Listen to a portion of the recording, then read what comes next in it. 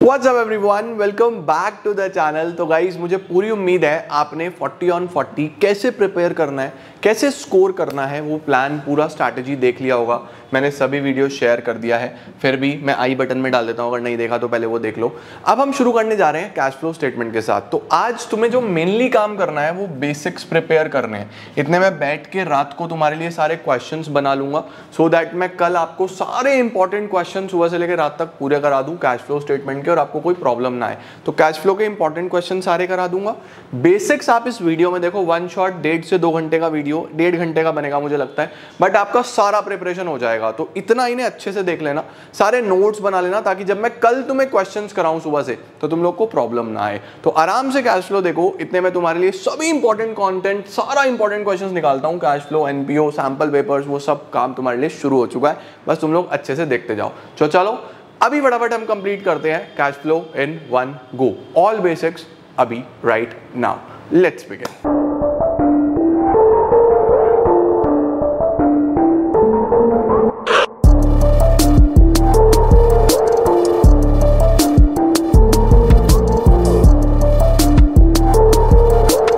जी cash flow में ना notes की बहुत इंपॉर्टेंस होने वाली है तो बहुत सारी चीज़ें मैं आपको लिखवाऊँगा। आप प्लीज़ साथ साथ नोट करके चलना और अपनी कॉपी में एक शानदार से नोट्स बना लेना सो दैट एग्ज़ाम टाइम पे रिवाइज करो तो परफेक्ट तुम लोग का रिविजन हो जाए। चैप्टर का नाम क्या है? चैप्टर का नाम है हमारे पास cash flow statement cash flow statement statement आप सब जानते हो। स्टेटमेंट एक बेसिकली जैसे बैलेंस शीट एक स्टेटमेंट होता है, जो किसी भी चीज़ का हिसाब किताब दे रहा है। यहाँ पे क्या है? ये स्टेटमेंट किस चीज़ का हिसाब किताब देगा? ये स्टेटमेंट हिसाब किताब देगा कैश के फ्लो का। कैश के फ्लो का सर देखो बिज़नेस में दो प्रकार की ट्रांजेक्शन होती हैं, या तो कैश या क्रेडिट अब उधार वाली ट्रांजेक्शन को अगर मैं साइड में रख दूँ तो बचती है कैश वाली ट्रांजेक्शन तो बिज़नेस में कितना कैश आ रहा है या कितना कैश जा रहा है? उसको भी तो एक स्टेटमेंट में रिकॉर्ड करना चाहिए ना। तो उसको बोलते हैं हम लोग कैश फ्लो स्टेटमेंट ठीक है?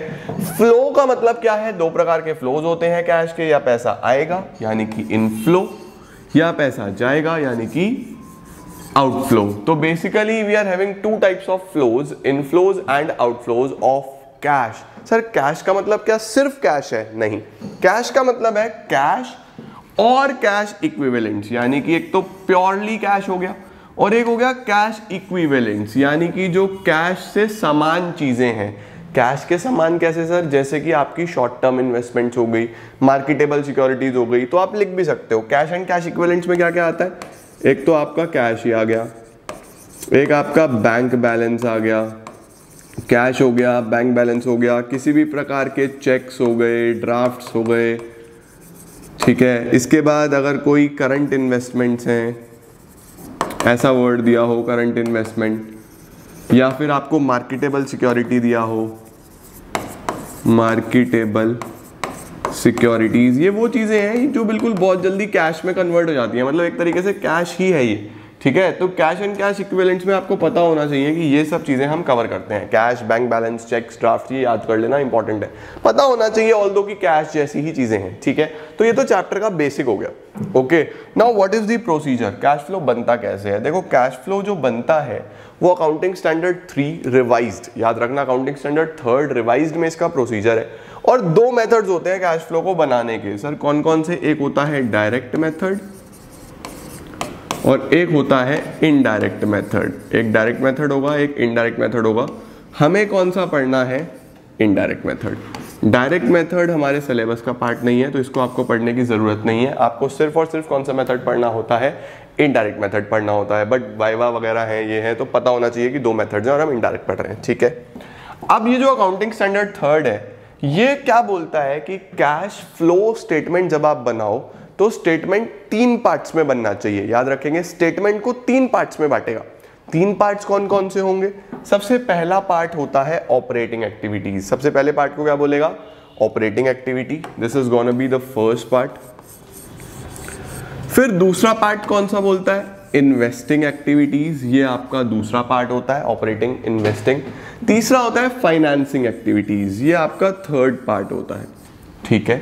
अब तीनों ही पार्ट का अपना अलग अलग रेलेवेंस है, तीनों ही पार्ट्स में अलग अलग आइटम्स आती हैं। सबसे पहले फाइनेंसिंग की अगर मैं बात करूँ तो लिख लेना, ये बहुत मदद करेगा। फाइनेंसिंग में आपका दो ही चीज़ों से रिलेटेड आइटम्स आएँगी। या तो वो शेयर कैपिटल से रिलेटेड होगा, या फिर वो लोन से रिलेटेड होगा। यानी इन दोनों में से कोई भी चीज़ for example issue of shares आपको दिख रहा है। या बाय बैक ऑफ़ शेयर्स आपको दिख रहा है, या इशू ऑफ़ डिवेंचर दिख रहा है डिवेंचर इज़ अ लोन तो इन दोनों से रिलेटेड कोई भी चीज़ होगी तो वो कहाँ पे आएगी? फाइनेंसिंग एक्टिविटी में आएगी, ये चीज़ पकड़ लो. पॉइंट्स पकड़ लो छोटे छोटे एकदम से बन जाएगा फॉर्मेट रखना नहीं पड़ेगा. ठीक है? अच्छा इन्वेस्टिंग में क्या क्या आता है? इन्वेस्टिंग में एक तो या तो फिक्स एसेट से रिलेटेड कोई चीज़ होगी. जैसे लैंड खरीदी बिल्डिंग खरीदी मशीन खरीदी फिक्स एसेट से रिलेटेड ठीक है? या फिर non current investments long term के लिए कोई नॉन करंट इन्वेस्टमेंट्स हैं, वो सब भी यहाँ कवर हो जाएँगी। तो यहाँ पे शेयर कैपिटल और लोन यहाँ पे आपके फिक्स एसेट्स और नॉन करंट इन्वेस्टमेंट्स ठीक है? बाकी तीसरा कौन सा आता है? Operating activity sir operating activity का मतलब ऑपरेटिंग एक्टिविटी का मतलब आपके नॉर्मल बिज़नेस ऑपरेशन जो भी बच जाते हैं। सर नॉर्मल बिज़नेस ऑपरेशन मतलब कि आपने जो भी बिज़नेस को चलाने के लिए आपका काम हो रहा है, भाई माल बेच रहे हो sale of goods operating activity में आएगा, बिज़नेस को चलाने के लिए सैलरी दे रहे हो वेजेस दे रहे हो, ये सब ऑपरेटिंग एक्टिविटी का पार्ट है। तो अगर ये चार चीज़ें हटा दूँ, बाकी जितनी भी ट्रांजेक्शन होंगी, वो सब ऑपरेटिंग एक्टिविटी में आ जाती हैं, ठीक है?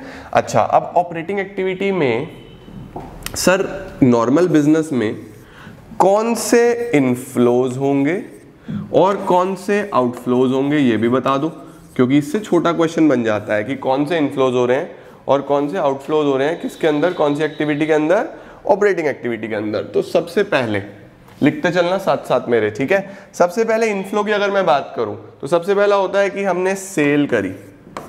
सेल्स सर सेल्स कौन सी होनी चाहिए? कैश की सेल्स ठीक है ना? भाई कैश फ्लो में सिर्फ़ कैश की बात कर रहा हूँ क्रेडिट की बात नहीं कर रहा।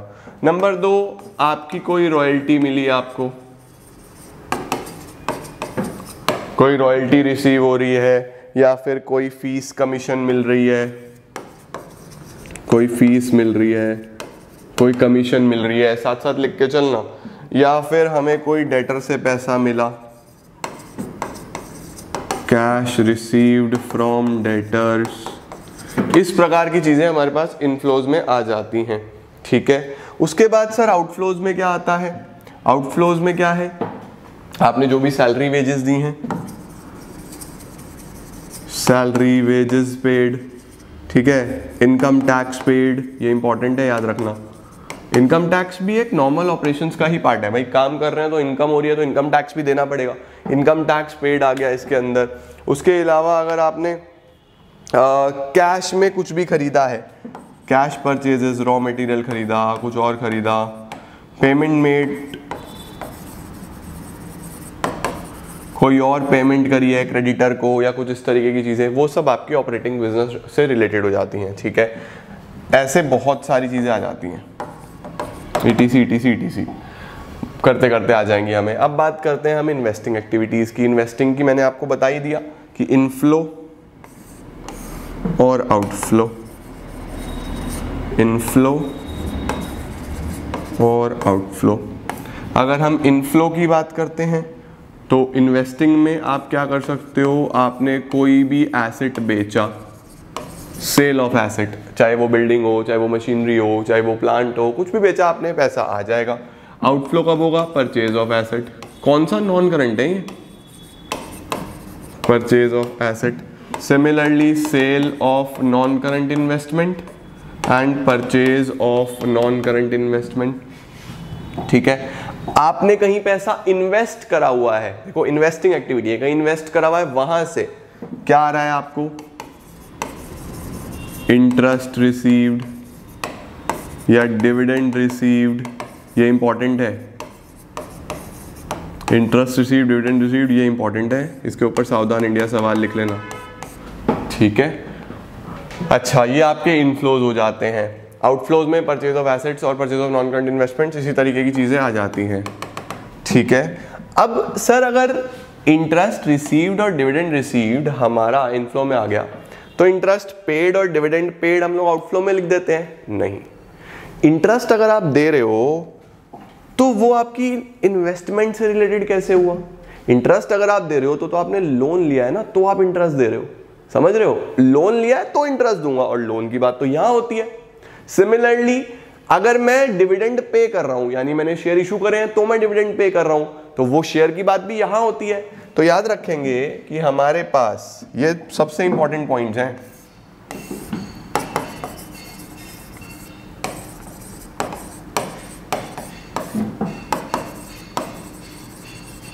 इंटरेस्ट पेड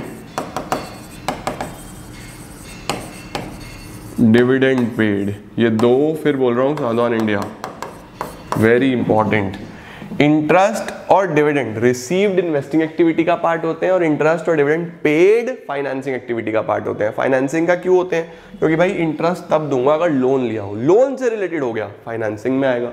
इंटरेस्ट मिलेगा कब? अगर कुछ पैसा इन्वेस्ट करा हुआ है, कहीं रखा हुआ है एफडी में रखा हुआ है, कहीं और लगाया हुआ है है ना?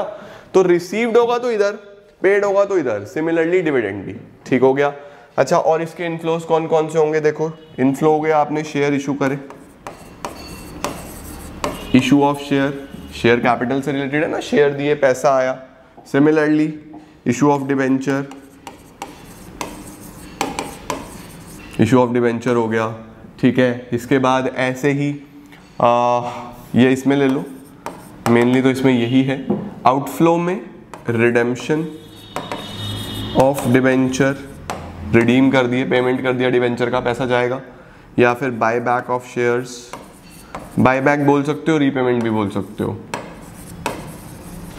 पैसा जाएगा ईटीसी e तो इस तरीके की चीज़ें हमारे पास इनफ्लोज और आउटफ्लोज में आ जाती है। तो जो तीन हमारे बेसिक हेड्स हैं ऑपरेटिंग इन्वेस्टिंग और फाइनेंसिंग उसका एक ये कॉन्क्लूजन है, एक क्रक्स है जो मैंने आपको समझाया। ये आपको पता होना चाहिए, क्योंकि मैं चल रहा हूँ बेसिक से लेके। ठीक है? अच्छा ये आपको बेसिक्स पता चल गया। इसका स्क्रीनशॉट लेना है स्क्रीनशॉट लो नोट डाउन करना है नोट डाउन करो। अब चलते हैं आगे। आगे कहाँ चलें सर अब लिखो, अपनी अपनी कॉपीज में हेडिंग डालो format of cash flow statement आप लोग कैश फ्लो स्टेटमेंट ही लिखना, कहीं सी एफ़ एस लिख दो। एग्ज़ाम में भी लिखाओगे, फिर नंबर कट जाएँगे। सर फॉर्मेट कैसे बनता है? देखो। एक एक चीज़ मैं तुम्हें बड़े ध्यान से कराऊँगा बट फ़िलहाल एक बेसिक फॉर्मेट बना दो, क्योंकि किताब में बहुत बड़ा फॉर्मेट बना हुआ है उतने बड़े फॉर्मेट का काम नहीं है, वैसे ही घबराना क्या? छोटी छोटी सी चीज़ें हैं। सबसे पहले ए पूरे नए पेज पे बनाना, ठीक है? हेडिंग डालना cash flow from operating activities मैंने आपको बताया तीन पार्ट्स में डिवाइडेड होगा। सबसे पहले किसकी बात करनी है? ऑपरेटिंग एक्टिविटीज़ और ये आपका 50 परसेंट ऑफ़ द पेज लेना चाहिए। मतलब अगर पूरा पेज है कॉपी का तो 50 परसेंट में ऑपरेटिंग एक्टिविटी बनना चाहिए। 50 के बाद बनाना। Cash flow from investing activities इसके बाद बनाना। Cash flow from investing activities investing भी मैंने आपको बता दिया। दो चीज़ें कौन कौन सी आती हैं इन्वेस्टिंग में? यहाँ लिख रहा हूँ एग्ज़ाम में मत लिख के आना। सिर्फ़ तुम्हें समझाने के लिए बता रहा हूँ। फिक्स एसेट्स और नॉन करंट इन्वेस्टमेंट्स ठीक है? फिर 25 परसेंट जगह छोड़ के तीसरा final banana. Cash flow from financing activity ये हमारा तीसरा आ गया cash flow from financing activity financing में कौन कौन सी चीज़ें आती हैं? शेयर कैपिटल किसी भी प्रकार का और आपके लोन्स बोरोइंग्स ठीक है? ये आपके तीन हेड्स हो गए operating activity investing activity financing activity शुरुआत कहाँ से होती है? शुरुआत होती है फॉर्मेट की net profit net profit before tax net profit before tax calculate कैसे होता है वो मैं आपको अलग से सिखाऊँगा। फ़िलहाल आप लिख लो। नेट प्रॉफिट बिफोर टैक्स इसको यहाँ लिख देना बाहर। ठीक है? फिर एक हेडिंग डलता है। Adjustments for non cash and non operating items हमारे पास बेटा जी कुछ नॉन कैश आइटम्स होती हैं, हमारे पास कुछ नॉन ऑपरेटिंग आइटम्स होती हैं। नॉन कैश सर जैसे डेप्रीसिएशन हमारे पी एंड एल में तो इम्पैक्ट डालता है ना डेप्रीसिएशन बट है तो non cash similarly non operating loss on sale of machinery या profit on sale of machinery वो हमारे ऑपरेशन से रिलेटेड नहीं है। इस प्रकार की चीज़ें हम लोग क्या करते हैं, यहाँ पे एडजस्ट करते हैं। तो ऐड क्या करने हैं आपने यहाँ पे? ऐड करने हैं आपने नॉन कैश और non operating expenses and losses ध्यान से लिख लेना इसको। ये ऐड करने हैं, याद रखना एक्सपेंसेस लॉसेस ऐड करने हैं। ठीक है? ये क्यों होता है, कैसे होता है, मैं सारी चीज़ें बताऊँगा। फ़िलहाल फॉर्मेट बना लो। लेस क्या करना है? Non cash non operating incomes and gains किसी भी प्रकार का non cash non operating income या गेन है तो वो यहाँ पे आपको लेस करना है। ठीक है? ये आपको पता होना चाहिए।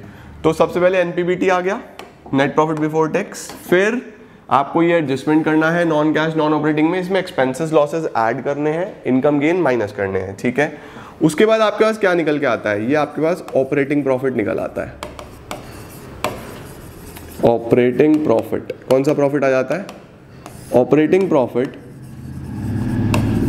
before working capital changes किससे पहले? वर्किंग कैपिटल से पहले। ठीक है? ये आपने ऐड कर दिया यहाँ पे। ये आपने लेस कर दिया। तो ये आपके पास ऑपरेटिंग प्रॉफिट निकल आया। ठीक हो गया? अब वर्किंग कैपिटल से पहले वर्किंग कैपिटल क्या होता है पता है? वर्किंग कैपिटल टर्म वन में बढ़ गया है। वो current assets minus current liabilities तो यहाँ पे हम क्या करते हैं? अब करंट एसेट्स और करंट लाइबिलिटीज का एडजस्टमेंट करते हैं। अब आपको यहाँ पे ऐड क्या करना है? और लेस क्या करना है? इसमें ना आपको मैं छोटा सा ट्रिक बता रहा हूँ। मतलब अभी करेंगे हम लोग आगे बट एक ट्रिक सीख लो। यहाँ पे ना दो चीज़ों का एडजस्टमेंट होता है करंट लाइबिलिटी और करंट एसेट करंट लाइबिलिटी में याद रखना, हिसाब किताब सीधा सीधा चलता है। सीधा सीधा का क्या मतलब हुआ कि अगर करंट लाइबिलिटी बढ़ी तो प्लस कर देना, कम हुई तो माइनस कर देना। एसेट्स में उल्टा चलता है। करंट एसेट बढ़ा तो माइनस कर देना, कम हुआ तो प्लस कर देना। इसका मतलब ऐड क्या करना है? ऐड करना है increase in current liability liability बढ़ी तो प्लस कम हुई तो minus decrease in current liability ठीक है? और इसके बाद और क्या ऐड करना है? एसेट्स में उल्टा. एसेट्स कम हुआ तो ऐड करो. Decrease in current assets increase in current assets ठीक है? ये वैल्यू यहाँ पे ऐड वाली, ये दो वैल्यू माइनस वाली, इसे माइनस करके यहाँ बाहर ले आना। ये बाहर आ गया बेटा। उसके बाद आपको यहाँ पे सिर्फ़ क्या माइनस करना है? एक सेकेंड रुको। मैं इस पूरे पार्ट को थोड़ा सा नीचे ले आऊँ। हमें जगह मिल जाएगी। लेस क्या करना है हमें यहाँ से? यहाँ से हमें लेस करना है इनकम टैक्स मैंने आपको ऊपर लिखवाया ना income tax paid income tax हम यहाँ से माइनस कर देंगे। तो आपके पास एक फाइनल वैल्यू आ जाएगा, वही फाइनल वैल्यू आप बाहर लिख दोगे। ये आपके पास आ गया cash flow from operating activity ये ऑपरेटिंग का पार्ट आया, ठीक है? अभी मैं तुम लोगों को अलग अलग सिखाऊँगा कि इसमें क्या इसमें क्या इसमें क्या। बट एक बेसिक फॉर्मेट तो बता दू, ठीक है? फिर आता है cash flow from investing activity ये जो वैल्यू आई, इसको क्या लिखते हैं हम? इसको लिखते हैं कैश फ्लो या फिर used in operating activity sir flow कब और यूज्ड कब? अगर पॉजिटिव वैल्यू है तो फ्लो नेगेटिव वैल्यू आया तो यूज्ड ठीक है? अच्छा जी, अब इन्वेस्टिंग सीख लो। इन्वेस्टिंग में तो बड़ा सिंपल सा है यार। तुम्हें मैंने बता ही दिया कि क्या प्लस करना है, क्या माइनस करना है। अगर एसेट खरीदा तो पैसा गया। है ना? तो अगर लिखा हुआ परचेज ऑफ़ एसेट या फिर नॉन करंट इन्वेस्टमेंट खरीदा तो पैसा गया, इसको माइनस में लिखना। याद रखना, पैसे को देखना है, ठीक है? और अगर बेचा तो सेल ऑफ़ एसेट या नॉन करंट इन्वेस्टमेंट तो पैसा आ गया। सही? इसके अलावा पैसा कब आता है? इन्वेस्टिंग अगर आपने कहीं पैसा इन्वेस्ट करा हुआ है तो यूजुअली इंटरेस्ट या फिर डिविडेंड रिसीव्ड वो आ जाएगा यहाँ पे आपका। मेनली यही चीज़ें होती हैं। ये आ गया वैल्यू बाहर। ये आपके पास आ गया कैश फ्लो या यूज़ इन फाइनेंसिंग एक्टिविटी ये आप एज इट इज़ बहुत सिंपली यहाँ लिख सकते हो। यहाँ पे आ जाएगा कैश फ्लो या फिर used in investing activity depending on की पॉजिटिव आ रहा है या नेगेटिव आ रहा है, ठीक है? लास्ट होता है फाइनेंसिंग एक्टिविटी सर फाइनेंसिंग में क्या करना है? फाइनेंसिंग में भी वही, अगर शेयर इशू करे। ये लिखा है ना शेयर और लोन इशू ऑफ़ शेयर्स या इशू ऑफ़ डिबेंचर्स तो पैसा आया। प्लस में लिखेंगे। अगर हमने इनका पेमेंट वेमेंट करा, यानी कि रिडेम्पशन ऑफ़ डिबेंचर्स या फिर रीपेमेंट ऑफ़ लोन तो पैसा गया। यहाँ पे लिख भी देता हूँ। रीपेमेंट ऑफ़ या बायबैक ऑफ़ शेयर्स पैसा गया। ये हमने यहाँ पे लिख दिया, ठीक है? फिर हम लोगों ने कोई इंटरेस्ट या डिविडेंड दिया? इंटरेस्ट या डिविडेंड पेड वो भी पैसा गया। तो फिर आपके पास एक फाइनल वैल्यू बाहर आ जाती है। ये कौन सी वैल्यू आई? कैश फ्लो या यूज्ड इन फाइनेंसिंग एक्टिविटी ठीक है? ये आपके पास तीसरा वाला वैल्यू आ गया। थर्ड वाला। कैश फ्लो या फिर यूज्ड इन फाइनेंसिंग एक्टिविटी अब देखो, आपको तीनों ही एक्टिविटीज़ की वैल्यूज़ मिल गई। ये ऑपरेटिंग की, ये इन्वेस्टिंग की, ये फाइनेंसिंग की। ये ऑपरेटिंग की थी, फिर ये इन्वेस्टिंग की आ गई, फिर ये फाइनेंसिंग की आ गई। ये तीनों वैल्यूज़ बाहर आ जाती हैं। इन तीनों को ऐड करना है आपको। और यहाँ पे क्या लिखना है? A plus B plus C add करके वैल्यू यहाँ बाहर कर दो। तीनों को। तीनों को ऐड करके वैल्यू यहाँ बाहर। इसमें हम प्लस करते हैं।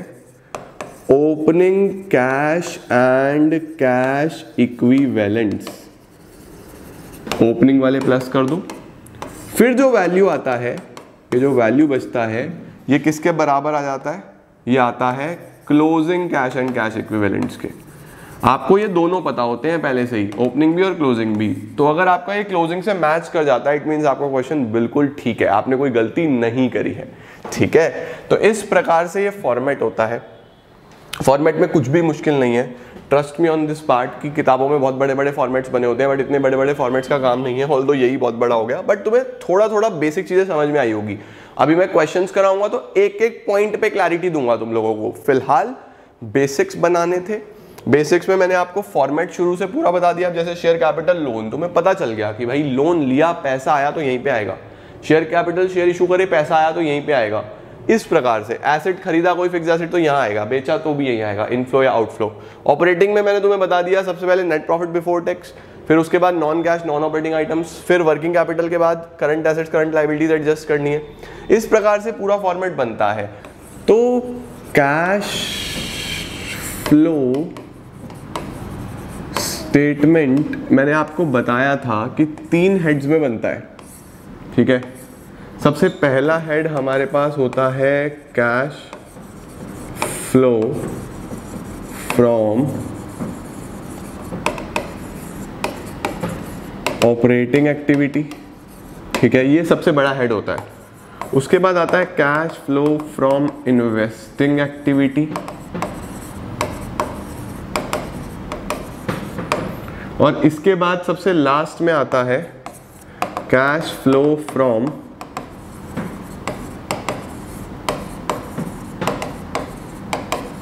financing activity ठीक है? आज हम बेसिकली इस पार्ट को सीखने वाले हैं। ये दोनों पार्ट्स हम अगली क्लासेस में सीखेंगे तो आपका फॉर्मेट पूरा कवर हो जाएगा। ठीक है? आज मेरे साथ साथ हेडिंग डालो। जल्दी जल्दी से हम बनाएँगे cash flow from operating activities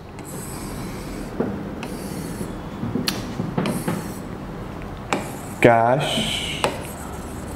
flow from operating activities अब जरा ध्यान से मेरी बात समझना। Cash flow from operating activities is basically कि हमें हमारे ऑपरेशन से कितना पैसा रिसीव हो रहा है मतलब what is the inflow and what is the outflow of cash from our operations operations मतलब sale and purchase of goods and services जो भी हमारे बिज़नेस ऑपरेशंस का एक रेगुलर एक्टिविटी का पार्ट है, ठीक है? अब ये शुरुआत कहाँ से होती है? सबसे पहले आपको कैलकुलेट करना आना चाहिए। नेट प्रॉफिट बिफोर टैक्स इसको हम यहाँ पे लिखते हैं। ये पता होना चाहिए। नेट प्रॉफिट बिफोर टैक्स सबसे पहले आपको कैलकुलेट करना आना चाहिए। ये नेट प्रॉफिट बिफोर टैक्स कौन सा वाला होता है, सर? ये जो नेट प्रॉफिट होता है ना, याद करो हमने एक पी एंड एल बनाया होता है क्लास इलेवेंथ में। बनाया होता है प्रॉफिट एंड लॉस अकाउंट जिसकी शुरुआत कहाँ से होती है? शुरुआत होती है यहाँ से बाय ग्रॉस प्रॉफिट ठीक है? अब जीपी के बाद हम यहाँ पे क्या लिखते हैं सारे के सारे? ऑपरेटिंग एक्सपेंसेस ऑपरेटिंग एक्सपेंसेस मतलब कि जो हमारे डेली बेसिस के बिज़नेस के खर्चे होते हैं रोज रोज के खर्चे होते हैं। इसमें चाहे वो सैलरीज हो, चाहे वो आप कमीशंस ले लो, चाहे वो डेप्रीसिएशन ले लो, चाहे बैड डेट्स ले लो, बहुत सारे ऐसे खर्चे हैं जो आपके रेगुलर बिज़नेस में हो रहे हैं। उसको हम क्या बोलते हैं? ऑपरेटिंग एक्सपेंसेस उसके बाद हम यहाँ पे क्या लेते हैं? ऑपरेटिंग इनकम्स तो हमारे पास जो प्रॉफिट निकल के आता है, उसको हम क्या बोलते हैं? ऑपरेटिंग प्रॉफिट तो हम लोग क्या बोलते हैं उसको? ऑपरेटिंग प्रॉफिट ये हम इसको क्लोज कर देते हैं। फिर हम इस ऑपरेटिंग प्रॉफिट को नीचे ले आते हैं। ऑपरेटिंग प्रॉफिट ब्रॉड डाउन फिर हम यहाँ पे नॉन ऑपरेटिंग एक्सपेंसेस लिखते हैं। Non operating expenses non operating कौन से होते हैं? लॉस ऑन सेल ऑफ़ एग्जैसेट्स या फिर कोई ऐसी चीज़ जो बेसिकली बिज़नेस से रिलेटेड नहीं है। Loss by theft loss by fire इस तरीके की चीज़ें, ठीक है? ये नॉन ऑपरेटिंग एक्सपेंसेस हो गए। इधर non operating incomes non operating incomes वो इधर आ जाती हैं। फिर आपके पास क्या निकल के आता है? फिर आपके पास निकल के आता है नेट प्रॉफिट ये जो नेट प्रॉफिट है ना, ये हम लोग को गिवन होता है क्वेश्चन में. ये हम लोग को गिवन होगा क्वेश्चन में. बट ये वाला नेट प्रॉफिट हम कैश फ्लो स्टेटमेंट में नहीं ले जा सकते.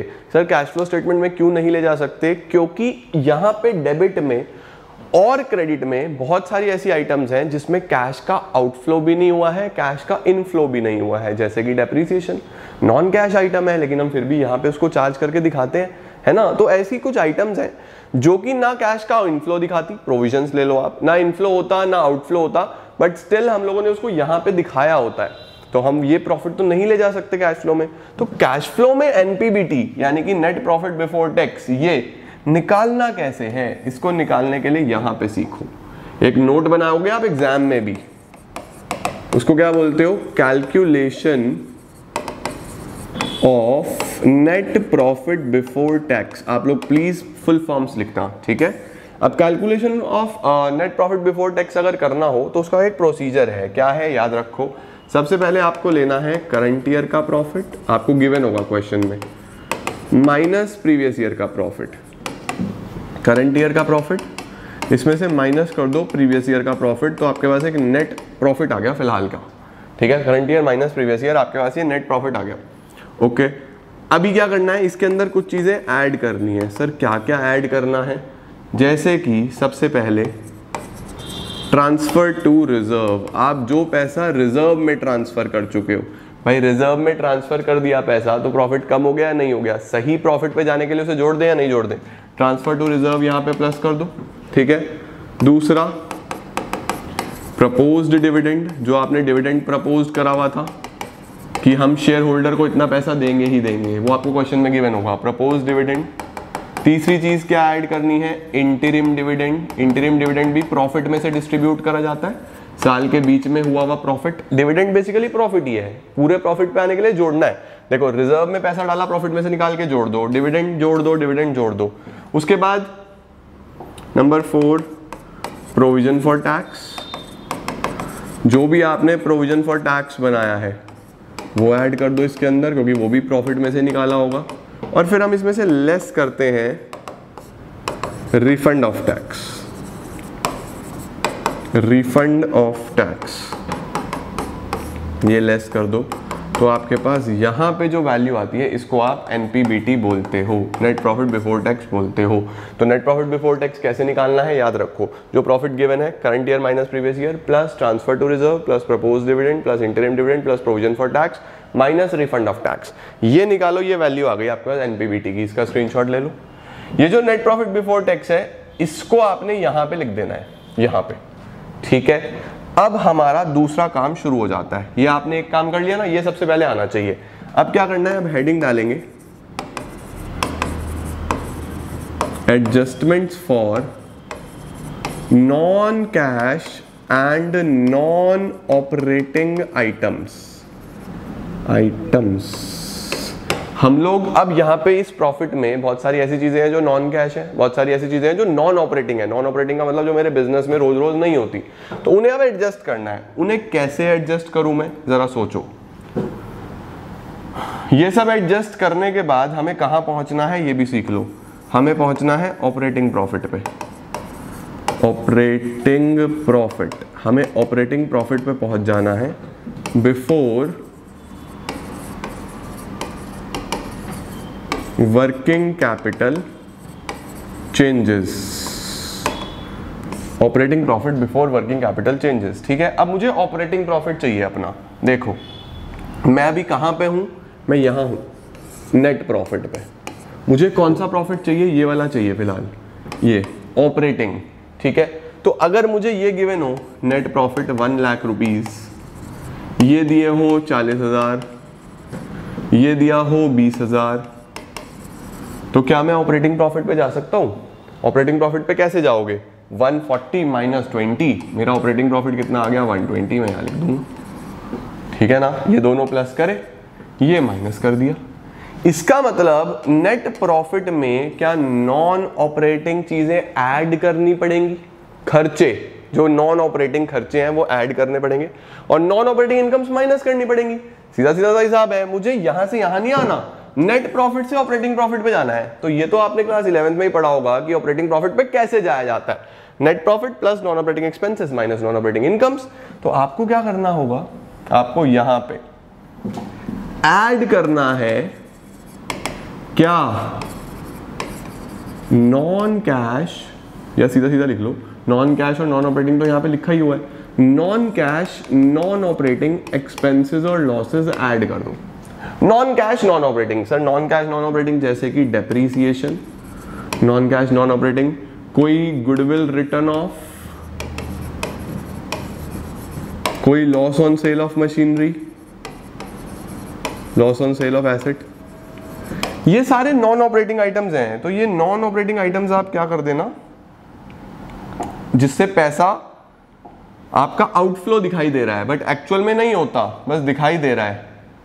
ठीक है? तो आप उसको यहाँ से ऐड बैक कर देना। ठीक है? अच्छा जी लेस क्या करेंगे? ऐसी ही कोई non operating non cash incomes और गेन्स हो अगर। अगर कोई इनकम्स और गेन्स हो, उसको माइनस कर देना। सर, जैसे जैसे profit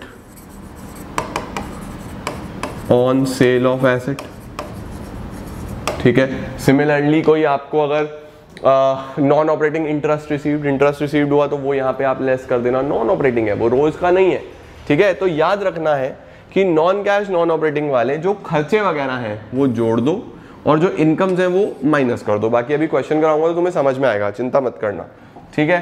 तो ये बेसिकली प्लस करना है, ये माइनस कर देना है तो हम यहाँ पे कहाँ पहुँच जाएँगे? हम पहुँच जाएँगे ऑपरेटिंग प्रॉफिट पे। कौन से प्रॉफिट पे आ गए हम? ऑपरेटिंग प्रॉफिट पे पहुँच गए। ऑपरेटिंग प्रॉफिट में अब हमें वर्किंग कैपिटल एडजस्ट करना है। वर्किंग कैपिटल का मतलब current assets minus current liabilities याद है फॉर्मूला रेशियोज में? Working capital is C A minus C L तो यहाँ पे मैं फिर से बोलूँगा कि एक चीज़ समझ लो बस। बेसिक सी चीज़ है। दो चीज़ें होनी है यहाँ पे। एड और लेस एड और लेस क्या ऐड होना है और क्या लेस होना है? वर्किंग कैपिटल का मतलब हम दो चीज़ों की बात कर रहे हैं। कौन सी दो चीज़ें सर करंट एसेट्स और करंट लाइबिलिटीज़ अब मैंने आपको बताया था कि करंट लाइबिलिटीज़ में सीधा सीधा हिसाब किताब चढ़ना है। लाइबिलिटी अगर बढ़ी तो प्लस कर देना। यानी ऐड क्या करना है? इंक्रीज इन करंट लाइबिलिटी कम हुई तो माइनस कर देना। यानी माइनस क्या करना है? Decrease in current liability assets में बस उल्टा है। ठीक है? मतलब कि डिक्रीज इन करंट एसेट्स ये दोनों हमें प्लस करने हैं।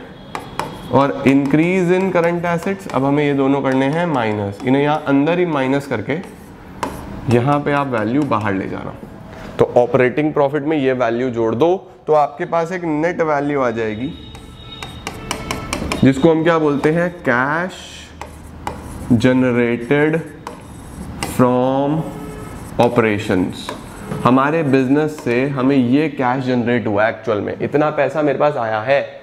अब इसमें से लेस लास्ट में, बिल्कुल लास्ट में आपको क्या माइनस करना है? इनकम टैक्स बिल्कुल लास्ट में आपका इनकम टैक्स पेड जो है, वो माइनस कर दो। तो जो वैल्यू आएगा, इसको आप यहाँ बाहर लिख दोगे।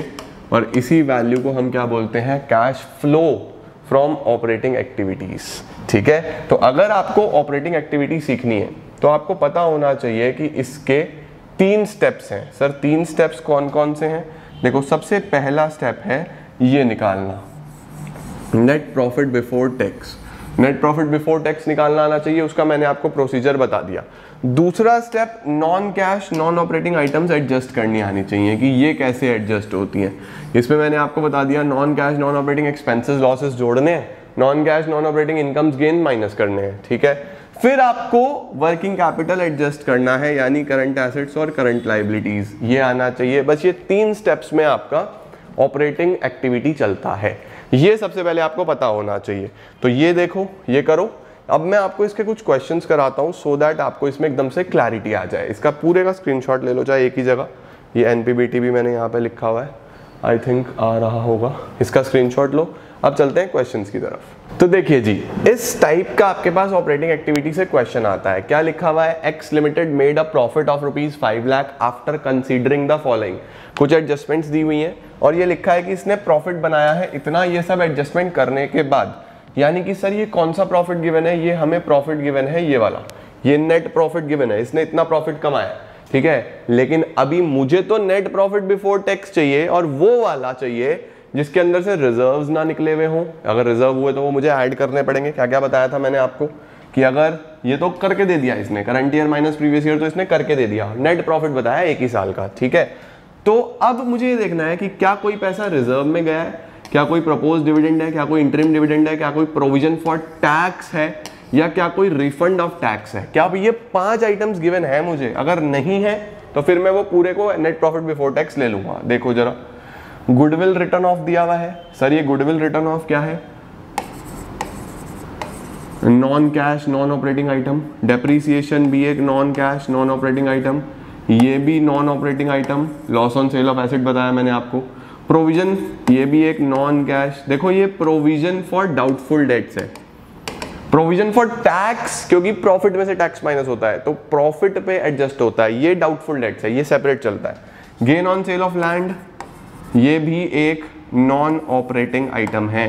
तो ये पाँचों ही non cash non operating items है।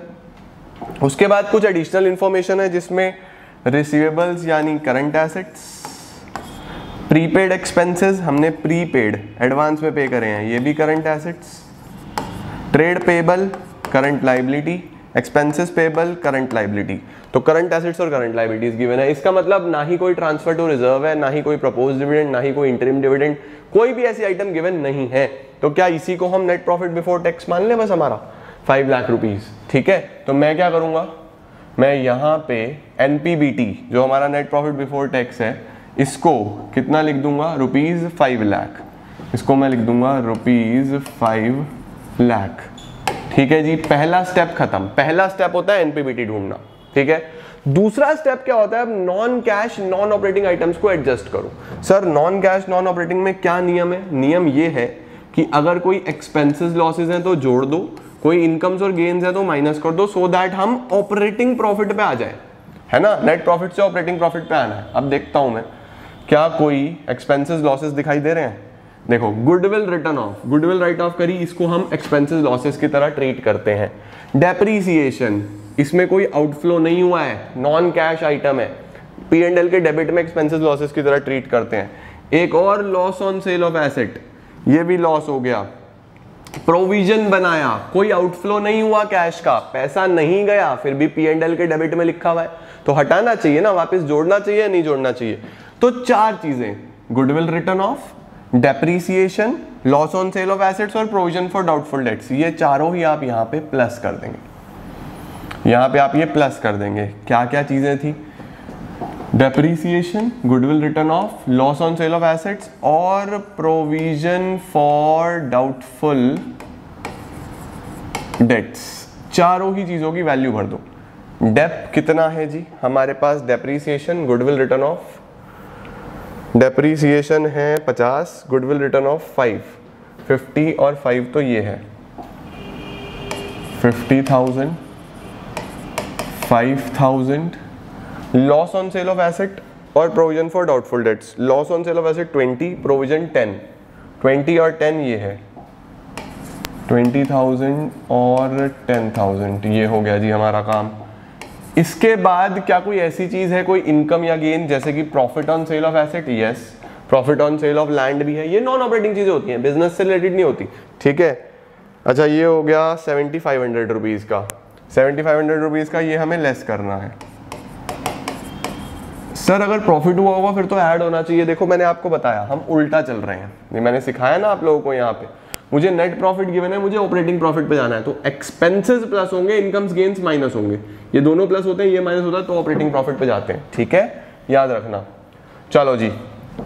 अब फाइनल वैल्यू बताओ ना। Operating profit before working capital changes कितना आ गया? Five lakh plus fifty thousand five fifty five fifty five five sixty five five eighty five five eighty five minus seventy five five eighty five five eighty five seventy seven five hundred आना चाहिए। Five seventy seven five hundred फिर भी कर लेते हैं, क्योंकि तुम लोग फिर कमेंट भर दोगे, अरे सर, यहाँ गलती, अरे सर, यहाँ गलती। पाँच lakh plus fifty thousand plus five thousand plus twenty thousand plus ten thousand minus seventy five hundred five seventy seven five hundred ये आ गया। अब हमें क्या एडजस्ट करना है? दो स्टेप्स हो गए। समझ गए ना? स्टेप वाइज चलो। एनपीबीटी हो गया non cash non operating item हो गया। तीसरा स्टेप क्या होता है? ऑपरेटिंग प्रॉफिट में अब वर्किंग कैपिटल का एडजस्ट करना current asset current liability liability बड़ी, सीधा सीधा प्लस करो, कम हुई माइनस करो। करंट ओनली करंट लाइबिलिटी की बात हो रही है। चलो पहले लाइबिलिटी देख लो। ये पिछला साल है, साल का ध्यान रखना, ये अभी वाला साल है, यानी ये प्रीवियस ईयर है, ये करंट ईयर है। चलो चेक करो। सबसे पहले लाइबिलिटी देख लेते हैं। ट्रेड पेबल पहले 40 था, अब 51 हो गया। तो कितने से बढ़ गया? ग्यारह हज़ार रुपए से बढ़ गया। लाइबिलिटी में सीधा सीधा हिसाब चलता है। बड़ा तो प्लस कर देना। ये भी लाइबिलिटी एक्सपेंसेस पेबल ये 34 था पहले अब 20 हो गया। ये कम हो गया। सर कितने से कम हो गया? 34 से 20 यानी फोर्टीन थाउज़ेंड रुपीज़ से कम हो गया। 14,000 से कम हो गया तो हम भी माइनस करेंगे। ठीक है? तो प्लस करो 11,000 माइनस करो 14,000 11,000 प्लस कर दो। 11,000 तो कर दो plus increase in current liability और 14,000 कर दो माइनस 14,000 कर दो माइनस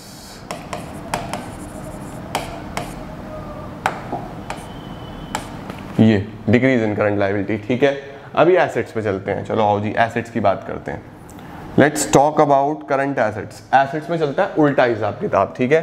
चलो चेक करो करंट एसेट्स 52 से 78 62 72 and 78 twenty six thousand rupees twenty six thousand rupees से बढ़ गया। एसेट्स अगर बड़े हैं तो हम माइनस कर देंगे। एसेट्स में उल्टा चल रहा है। बड़े हैं तो माइनस करेंगे।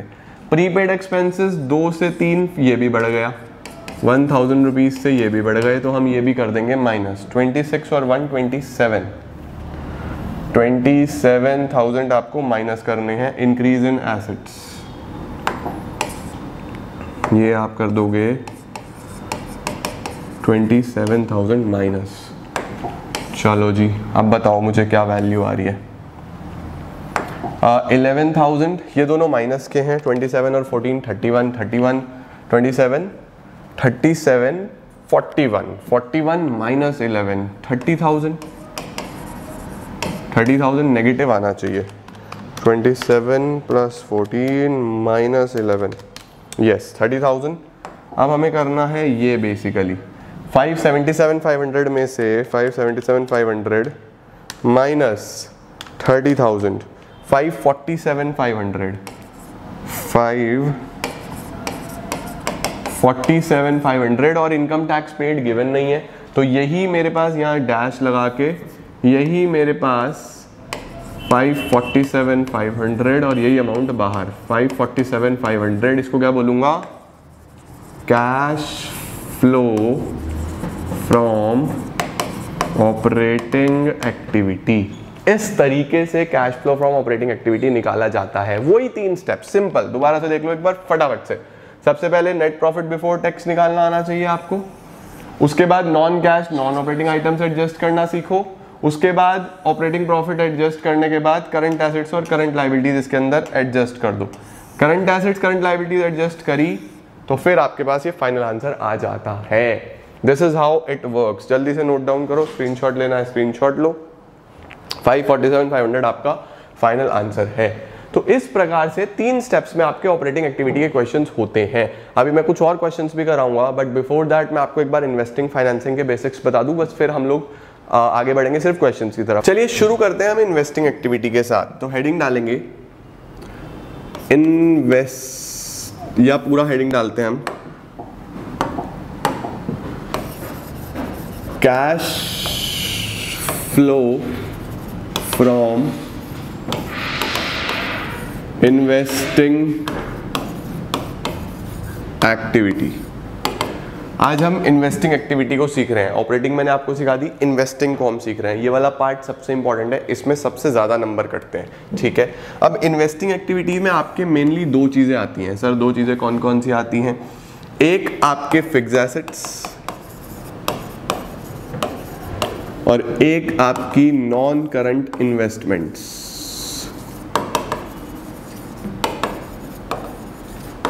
ठीक है? तो फिक्स एसेट्स में बेसिकली क्या होता है? फिक्स एसेट्स में आपको पता है कि अगर आपने फिक्स एसेट बेचा फॉर एग्ज़ाम्पल कोई मशीनरी कोई लैंड कुछ फर्नीचर आपने बेचा तो पैसा आएगा।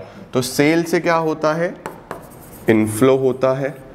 अगर आपने खरीदा एसेट खरीदा तो उससे क्या होता है? आउटफ्लो होता है। आउटफ्लो मतलब पैसा जा रहा है। तो फिक्स एसेट्स में सेल परचेज आ सकता है इसके अंदर। Sale of asset purchase of asset investments की बात करें तो इसी तरीके से इन्वेस्टमेंट भी या आप खरीद सकते हो या बेच सकते हो।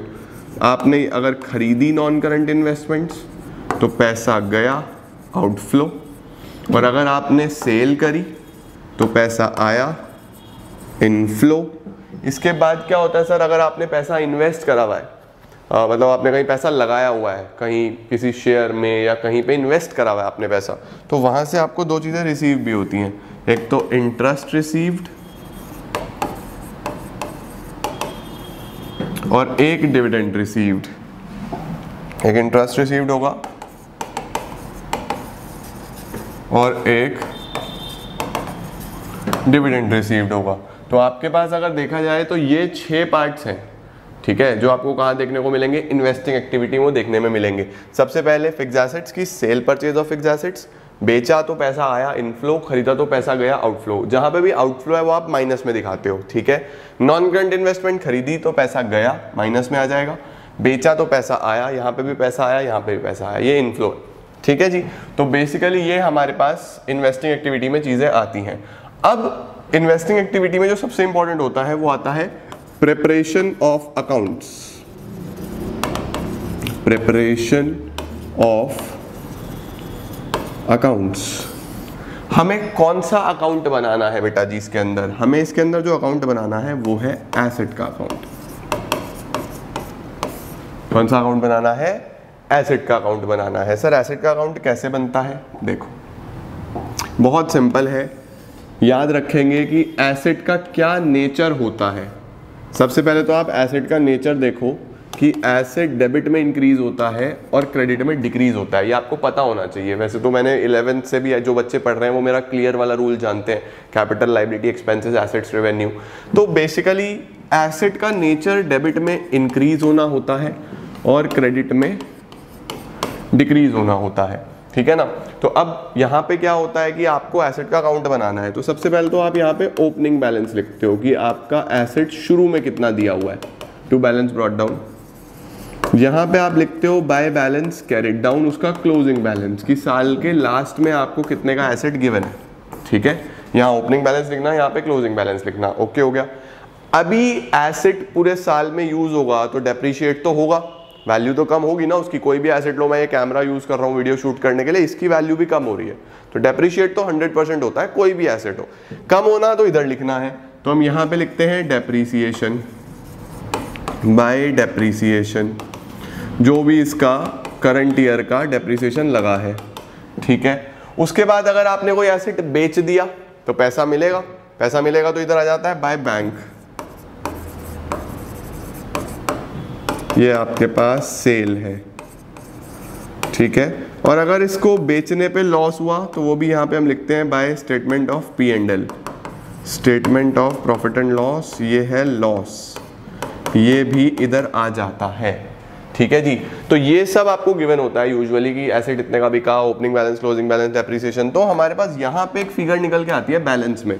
उसको हम क्या बोलते हैं? यहाँ पे अगर वैल्यू निकल आए तो ये निकला हमारे पास परचेज ये आपके पास परचेज ऑफ़ एसेट निकल आता है। आपको यूजुअली यही निकालना होता है। परचेज ये आपको बैलेंस में निकालना है। ये निकलेगा कैसे? इन सब का टोटल करो। उसमें से ये माइनस कर दो। ये आ जाएगा आपके पास बैलेंस में परचेज तो ये आपको कैश फ्लो स्टेटमेंट में पता होना चाहिए कि एसेट अकाउंट जब आप बनाओगे तो या यूजुअली सेल बताएगा तो परचेज निकाल लेना परचेज बताएगा तो सेल निकाल लेना। ये आपने क्लास इलेवंथ में ही बनाया है डेप्रिसिएशन में बनाया ना एसेट अकाउंट इधर ओपनिंग बैलेंस फिर डेप लगता था बिक जाता था क्लोजिंग बैलेंस वही तो बात है, खरीदते थे तो इधर लिख देते थे। वही सेम अकाउंट है ये। ओके अब इसकी आइटम्स कहाँ कहाँ पे जाती हैं सर? इस अकाउंट में से चीज़ें कहाँ कहाँ पे जाएँगी? देखो, सबसे पहले इसका आप क्लैरिटी से स्क्रीनशॉट ले लेना, फिर मैं तुम्हें बता दूँगा करना क्या है। अब देखो, ये जो बैलेंसेज हैं, ये बैलेंसेज कहीं नहीं जाते। बैलेंस यहीं पे आते हैं, बस ओपनिंग क्लोजिंग बात खत्म। उसके बाद चीज़ें जाती हैं। देखो, जैसे डेप्रीसिएशन डेप्रीसिएशन आपने ऑपरेटिंग एक्टिविटी में प्लस किया था सबसे ऊपर। कल वाली वीडियो में बताया था ना प्लस कर दो non cash non operating item sale पैसा आया इनफ्लो तो ये इन्वेस्टिंग में ही प्लस हो जाता है। ठीक है या नहीं है? पैसा आया तो प्लस हो जाएगा, ठीक है? Loss on sale of asset ये भी ऑपरेटिंग में ऐड किया था या नहीं किया था? तो ये भी ऑपरेटिंग में प्लस होता है। ये चीज़ें हम कल पढ़ चुके हैं। Loss on sale of asset और डेप्रिसिएशन, याद है? ये तो इन्वेस्टिंग का पार्ट है ऑब्वियसली आपने माल एसिड जो है वो बेचा है तो पैसा आया पॉजिटिव में। खरीदा तो ये भी कहाँ पे? ये भी इन्वेस्टिंग का पार्ट है। इन्वेस्टिंग में ही माइनस में। सर माइनस में क्यों? माइनस में इसीलिए क्योंकि खरीदा तो पैसा गया ना, है ना? तो इस तरीके से ये आपका एसेट अकाउंट बनता है। पहले तो आपको ये बनाना आना चाहिए। अब क्या होता है? एक नोट लिखो। एक नोट लिख लो if along with balances of asset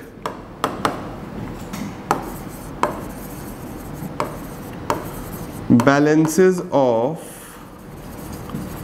accumulated depreciation is also given अगर आपको एसिड का बैलेंस तो यहाँ ऊपर दिया ही हुआ था एसिड के बैलेंस के साथ एक्यूमुलेटेड डेप्रिसिएशन का बैलेंस भी गिवन हो। एक्यूमुलेटेड डेप्रिसिएशन को कई बार प्रोविज़न फॉर डेप्रिसिएशन के नाम से भी देता है। तो एक्यूमुलेटेड डेप बोल दो, या फिर प्रोविज़न फॉर डेप्रिसिएशन बोल दो।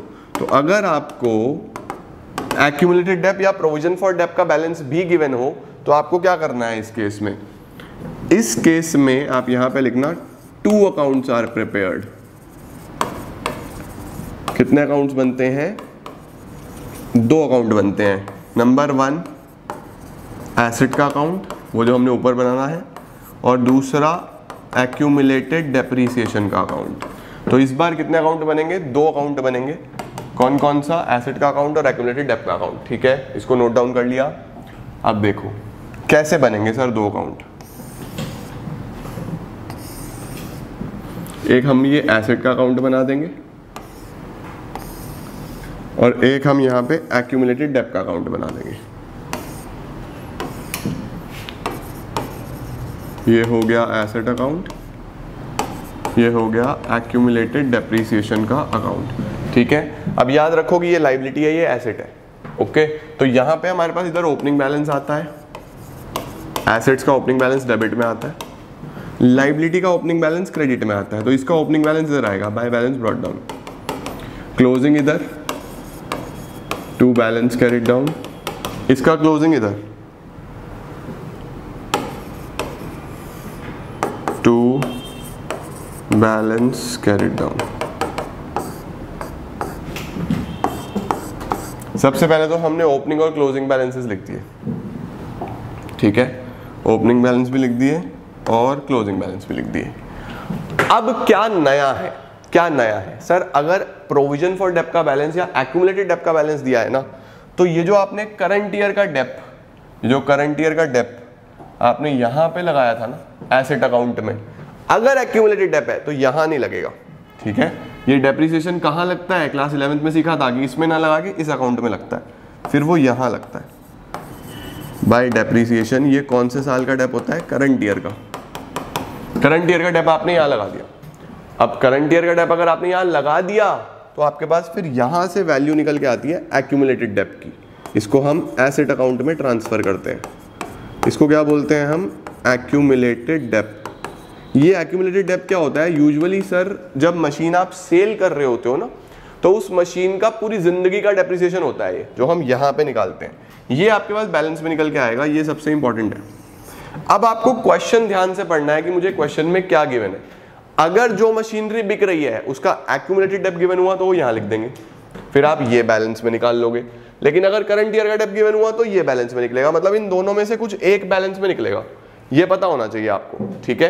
तो ओपनिंग क्लोजिंग ये करंट ईयर का डेप ये बैलेंस में निकाल दो। अब ये जो बैलेंस में निकाला ना आपने, ये एज इट इज़ ऊपर पहुँचा दो। बाय एक्यूमुलेटेड डेप्रीसिएशन के नाम से। अभी तक डेप्रीसिएशन आ रहा था। अब डेप नहीं आएगा एसेट अकाउंट में। एक्यूमुलेटेड डेप आएगा जो आपने निकाला है। बाकी सब सेम है। बाय बैंक सेल और by statement of P and L loss ये लॉस है। ठीक है जी? इधर क्या आता है? टू बैंक परचेज ये आप बैलेंस में निकालते हो यूजुअली ठीक है? तो सर बैलेंस में क्या क्या निकलता है? फिर से वही बात बैलेंस में या ये निकलेगा? परचेज या ये निकलेगा? सेल इन दोनों में से एक ही बैलेंस में निकलता है। ठीक है या नहीं है? सर इसकी पोस्टिंग करवा दो। नोट करते चलो, अभी क्वेश्चन कराऊँगा ना क्लैरिटी आ जाएगी। फिर से पोस्टिंग अगर करनी हो तो ये जो बैलेंस है बैलेंस कहीं नहीं जाता। ठीक है जी? बैलेंस कहीं नहीं जाएगा। एक्यूमुलेटेड डेप ऑलरेडी दो जगह आ चुका है। एक वैल्यू ये आ गई, एक वैल्यू ये आ गई, ये भी कहीं नहीं जाएगा। डेप्रीसिएशन आपको पता है? ऑपरेटिंग एक्टिविटी में ऐड हो जाता है। लॉस भी ऑपरेटिंग एक्टिविटी में ऐड हो जाता है। सेल इन्वेस्टिंग एक्टिविटी में ऐड हो जाता है।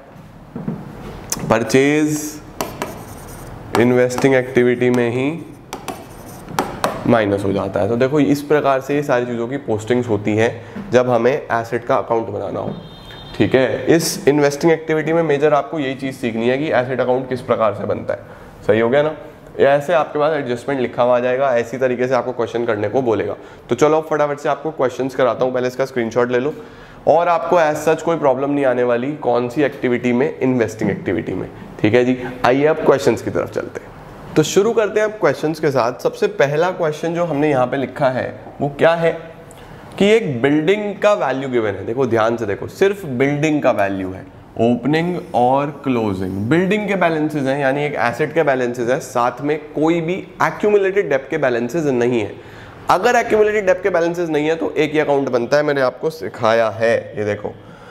अगर सिर्फ़ नॉर्मल बैलेंसेज हो तो ऐसा एक एसेट अकाउंट बन जाता है। Opening closing depreciation sale loss और परचेज आ जाता है। लेकिन अगर एक्यूमुलेटेड डेप के बैलेंसेस भी हो तो फिर दो अकाउंट बनते हैं। तो अभी फ़िलहाल तो एक ही बैलेंसेज है।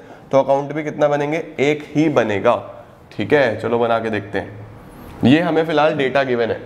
ओके चलो, यहाँ पे हम कुछ अकाउंट बनाने की कोशिश करते हैं। सॉल्यूशन हम बिल्डिंग का अकाउंट बना रहे हैं। We are preparing building account. Okay जी? चलिए जी, सबसे पहले तुम्हें पता होना चाहिए कि ओपनिंग कितना और क्लोजिंग कितना। भाई, शुरू में छः लाख लास्ट में सेवन फिफ्टी सिक्स लाख। मुझे बहुत सारे बच्चे फिर कमेंट कर देते हैं, सर, आप हिंदी में मत बोला करो। क्यों भाई? गलत बात है ना? हमारी मातृभाषा हिंदी। मैं दोनों में बोला करूँगा, ठीक है ना? सिक्स लाख छः लाख सेवन फिफ्टी सात लाख, पचास हज़ार। Six lakh. And seven fifty ठीक हो गया जी? आपको पता चल गया कि शुरू में और लास्ट में ये बैलेंसेज हैं। सबसे पहले तो ये दिया था। अब ध्यान से देखना। एक बिल्डिंग है कॉस्टिंग वन लाख रुपीज़ मेरे पास बिल्डिंग छह लाख की थी। इसमें से कोई पार्ट जिसका कॉस्ट एक लाख रुपए है, यानी मेरे पास ये मैंने एक लाख रुपए की ली थी। इस वाली बिल्डिंग पे एक्यूमुलेटेड डेप एक्यूमुलेटेड डेप का मतलब होता है इसकी पूरी ज़िंदगी का, यानी शुरू से लेके अभी तक का। इस एक लाख पे कितना डेप लग चुका है?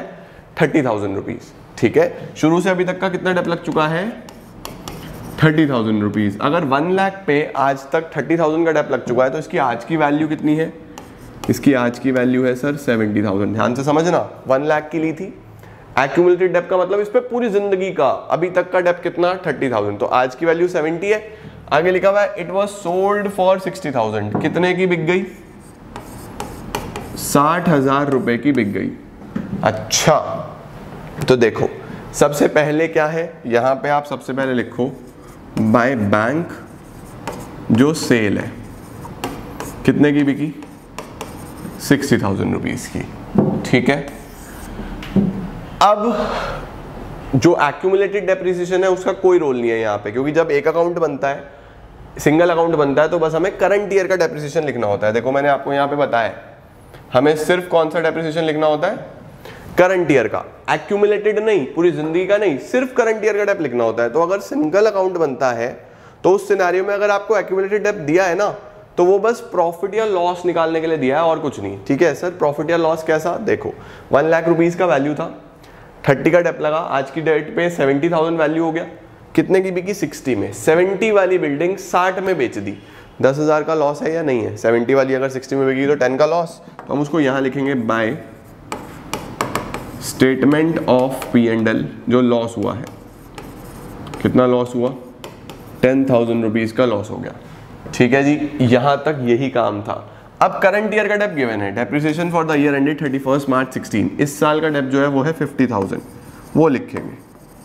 By depreciation fifty thousand rupees fifty thousand rupees का डेप्रिसिएशन आ गया। ठीक है? अब क्या करना है मुझे? अब बस परचेज निकाल लो बैलेंस में, सब कुछ लिख दिया। सेवन फिफ्टी और fifty eight lakh eight seventy आ गया तो एट सेवेंटी इधर का टोटल है। Eight seventy minus six lakh two seventy की मैंने मशीन और खरीदी है, यानी कि ये मेरे पास टू बैंक क्या वैल्यू आई? परचेज ये हमारे पास परचेज निकल के आ गया। तो अगर हमें अब cash flow from investing activity बनाना हुआ तो हम बनाएँगे यहाँ पे। यहाँ डाल देंगे cash flow from investing activity अब मैंने आपको बताया बैलेंस तो कहीं नहीं जाते परचेज अगर आपने बिल्डिंग खरीदी है तो इन्वेस्टिंग में जाएगा। परचेज ऑफ़ बिल्डिंग पैसा गया। Two lakh seventy thousand rupees तो माइनस में लिख देना। ठीक है या नहीं है? अच्छा जी, उसके बाद सेल यहाँ पे आएगा। सेल ऑफ़ बिल्डिंग पैसा आया सिक्सटी थाउज़ेंड रुपीज़ पॉजिटिव में। लॉस जो है, वो यहाँ पे नहीं जाएगा। लॉस ऑपरेटिंग में सबसे ऊपर प्लस होगा और डेप्रिसिएशन भी ऑपरेटिंग में सबसे ऊपर प्लस होगा। तो इन दोनों का इन्वेस्टिंग एक्टिविटी से कोई लेना देना नहीं है तो इन्वेस्टिंग एक्टिविटी में ये आएगा। फ़िलहाल आपका आंसर 270 माइनस का है और 60 पॉजिटिव का है। तो two lakh ten thousand rupees आपका नेगेटिव में आ जाएगा। जब भी आंसर नेगेटिव में आए तो उसको कैश फ्लो नहीं बोलते कैश यूज्ड बोलते cash used in investing activity आप इस तरीके से two lakh ten thousand rupees negative दिखा देंगे।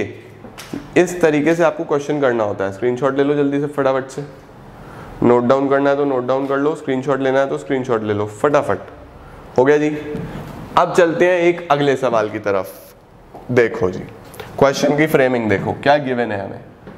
इस बार मुझे मशीन के बैलेंसेस भी हैं ओपनिंग क्लोजिंग और एक्यूमुलेटेड डेप के बैलेंसेस भी हैं ओपनिंग क्लोजिंग यानी दो बैलेंसेस दिए हैं। दो बैलेंसेस दिए हैं तो सर कितने अकाउंट दो अकाउंट ठीक है? चलो बनाओ। मशीन भी है और एक्यूमुलेटेड डेप भी है तो दो अकाउंट बनेंगे। छोटा बना दू थोड़ा सा? इधर मशीन बना लेते। ये तो हो गया हमारा मशीन अकाउंट और इधर हम बना देते हैं एक्यूमुलेटेड डेप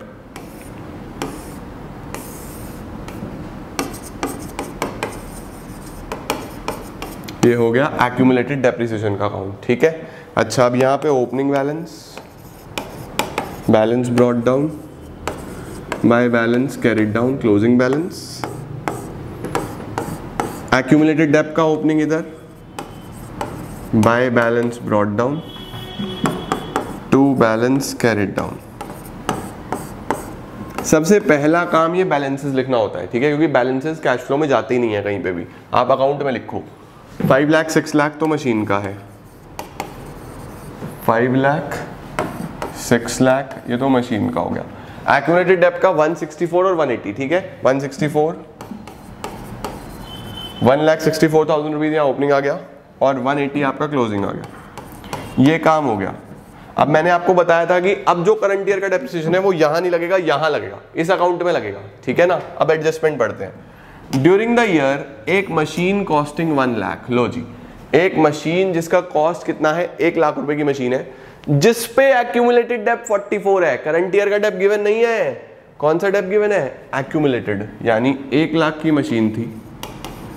जिसपे आज तक 44 का डेप लगा है। वैल्यू कितना बचा?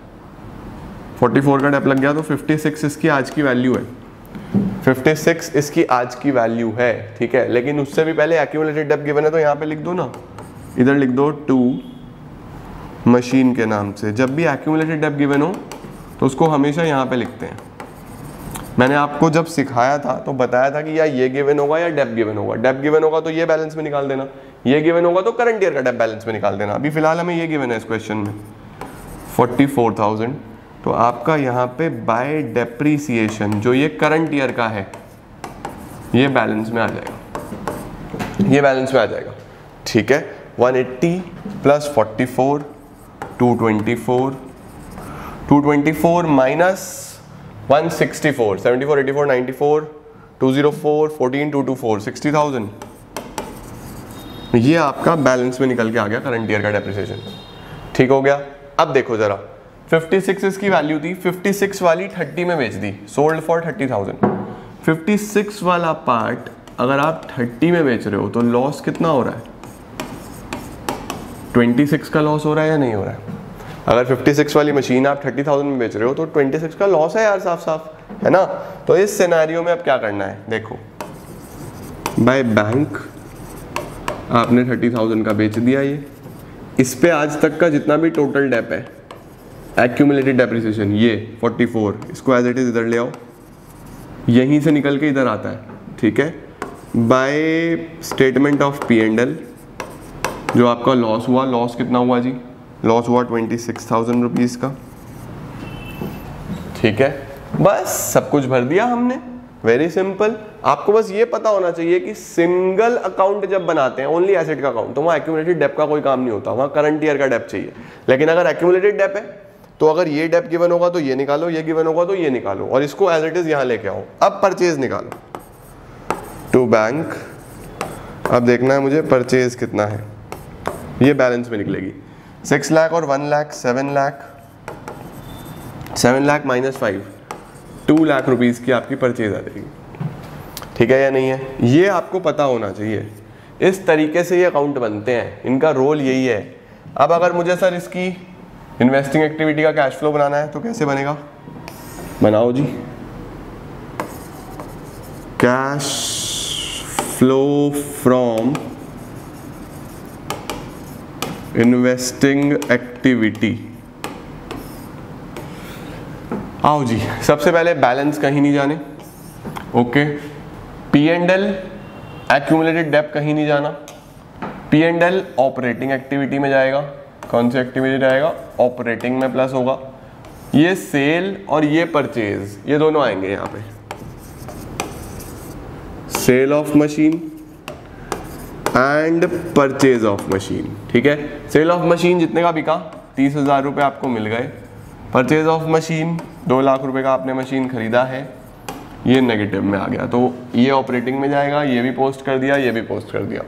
अब इसमें आ जाओ एक्यूमुलेटेड डेप कहीं पोस्ट नहीं होना, क्योंकि ये इधर आ चुका है। बैलेंस कहीं पोस्ट नहीं होगा जो डेप्रिसिएशन है, ये भी कहा जाएगा? ऑपरेटिंग में प्लस होगा। तो ऑपरेटिंग में दो चीज़ें प्लस होंगी और इन्वेस्टिंग में ये दो चीज़ें आएँगी, ठीक है? हमें फ़िलहाल इन्वेस्टिंग बनाना था। तो इन्वेस्टिंग हमारा one lakh seventy thousand rupees negative आ रहा है। नेगेटिव का मतलब cash used in investing activity ठीक हो गया? तो इस प्रकार से हम इन्वेस्टिंग एक्टिविटी के क्वेश्चंस करते हैं।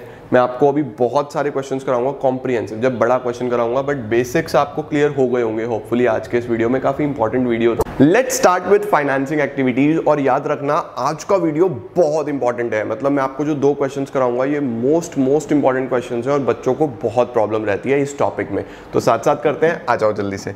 हेडिंग डालो सबसे पहले फाइनेंसिंग एक्टिविटीज़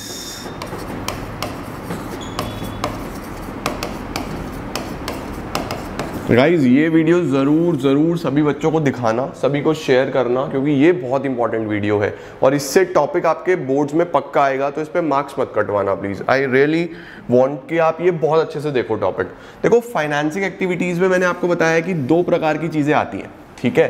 सबसे पहली चीज़ अपने माइंड में रखो कि शेयर कैपिटल शेयर कैपिटल। अब शेयर दो प्रकार के होते हैं आपके पास, चाहे वो इक्विटी हो, चाहे वो प्रेफरेंस हो, ठीक है? तो इक्विटी या प्रेफरेंस शेयर अगर इशू करा गया तो आपके पास पैसा आएगा इनफ्लो होगा तो आप उसको प्लस में रखना। अगर उसका पेमेंट कर दिया गया, यानी बाय बैक कर लिया गया तो पैसा जाएगा आउटफ्लो तो वो माइनस होगा, है ना? तो फाइनेंसिंग में हम बात करते हैं शेयर कैपिटल की। शेयर कैपिटल में दो प्रकार के शेयर्स हैं इक्विटी प्रेफरेंस ये पता होना चाहिए। उसके बाद इशू हो सकते हैं शेयर्स और बायबैक हो सकते हैं। आपके वाइवा के लिए भी बहुत इंपॉर्टेंट है, ठीक है? शेयर कैपिटल के बाद दूसरी चीज़ जो हम यहाँ पे लेते हैं, वो हम लेते हैं लोन्स लोन्स में चाहे वो बैंक ओवरड्राफ्ट हो, याद रखना बैंक ओवरड्राफ्ट को यूजुअली लोग भूल जाते हैं तो this is very important bank overdraft आपका लोन कंसिडर करा जाएगा। चाहे आपका डिबेंचर हो, चाहे आपका बैंक लोन हो, और इनसे रिलेटेड इंटरेस्ट ठीक है? ऐसे ही यहाँ पे शेयर्स से रिलेटेड डिविडेंड भी। भाई, अगर शेयर इशू कर रहे हैं तो डिविडेंड भी तो देना पड़ेगा ना, है ना? तो अब याद रखना कि यहाँ पे अगर आप लोन लोगे अगर आपने डिबेंचर इशू करा या बैंक लोन लिया तो पैसा आएगा।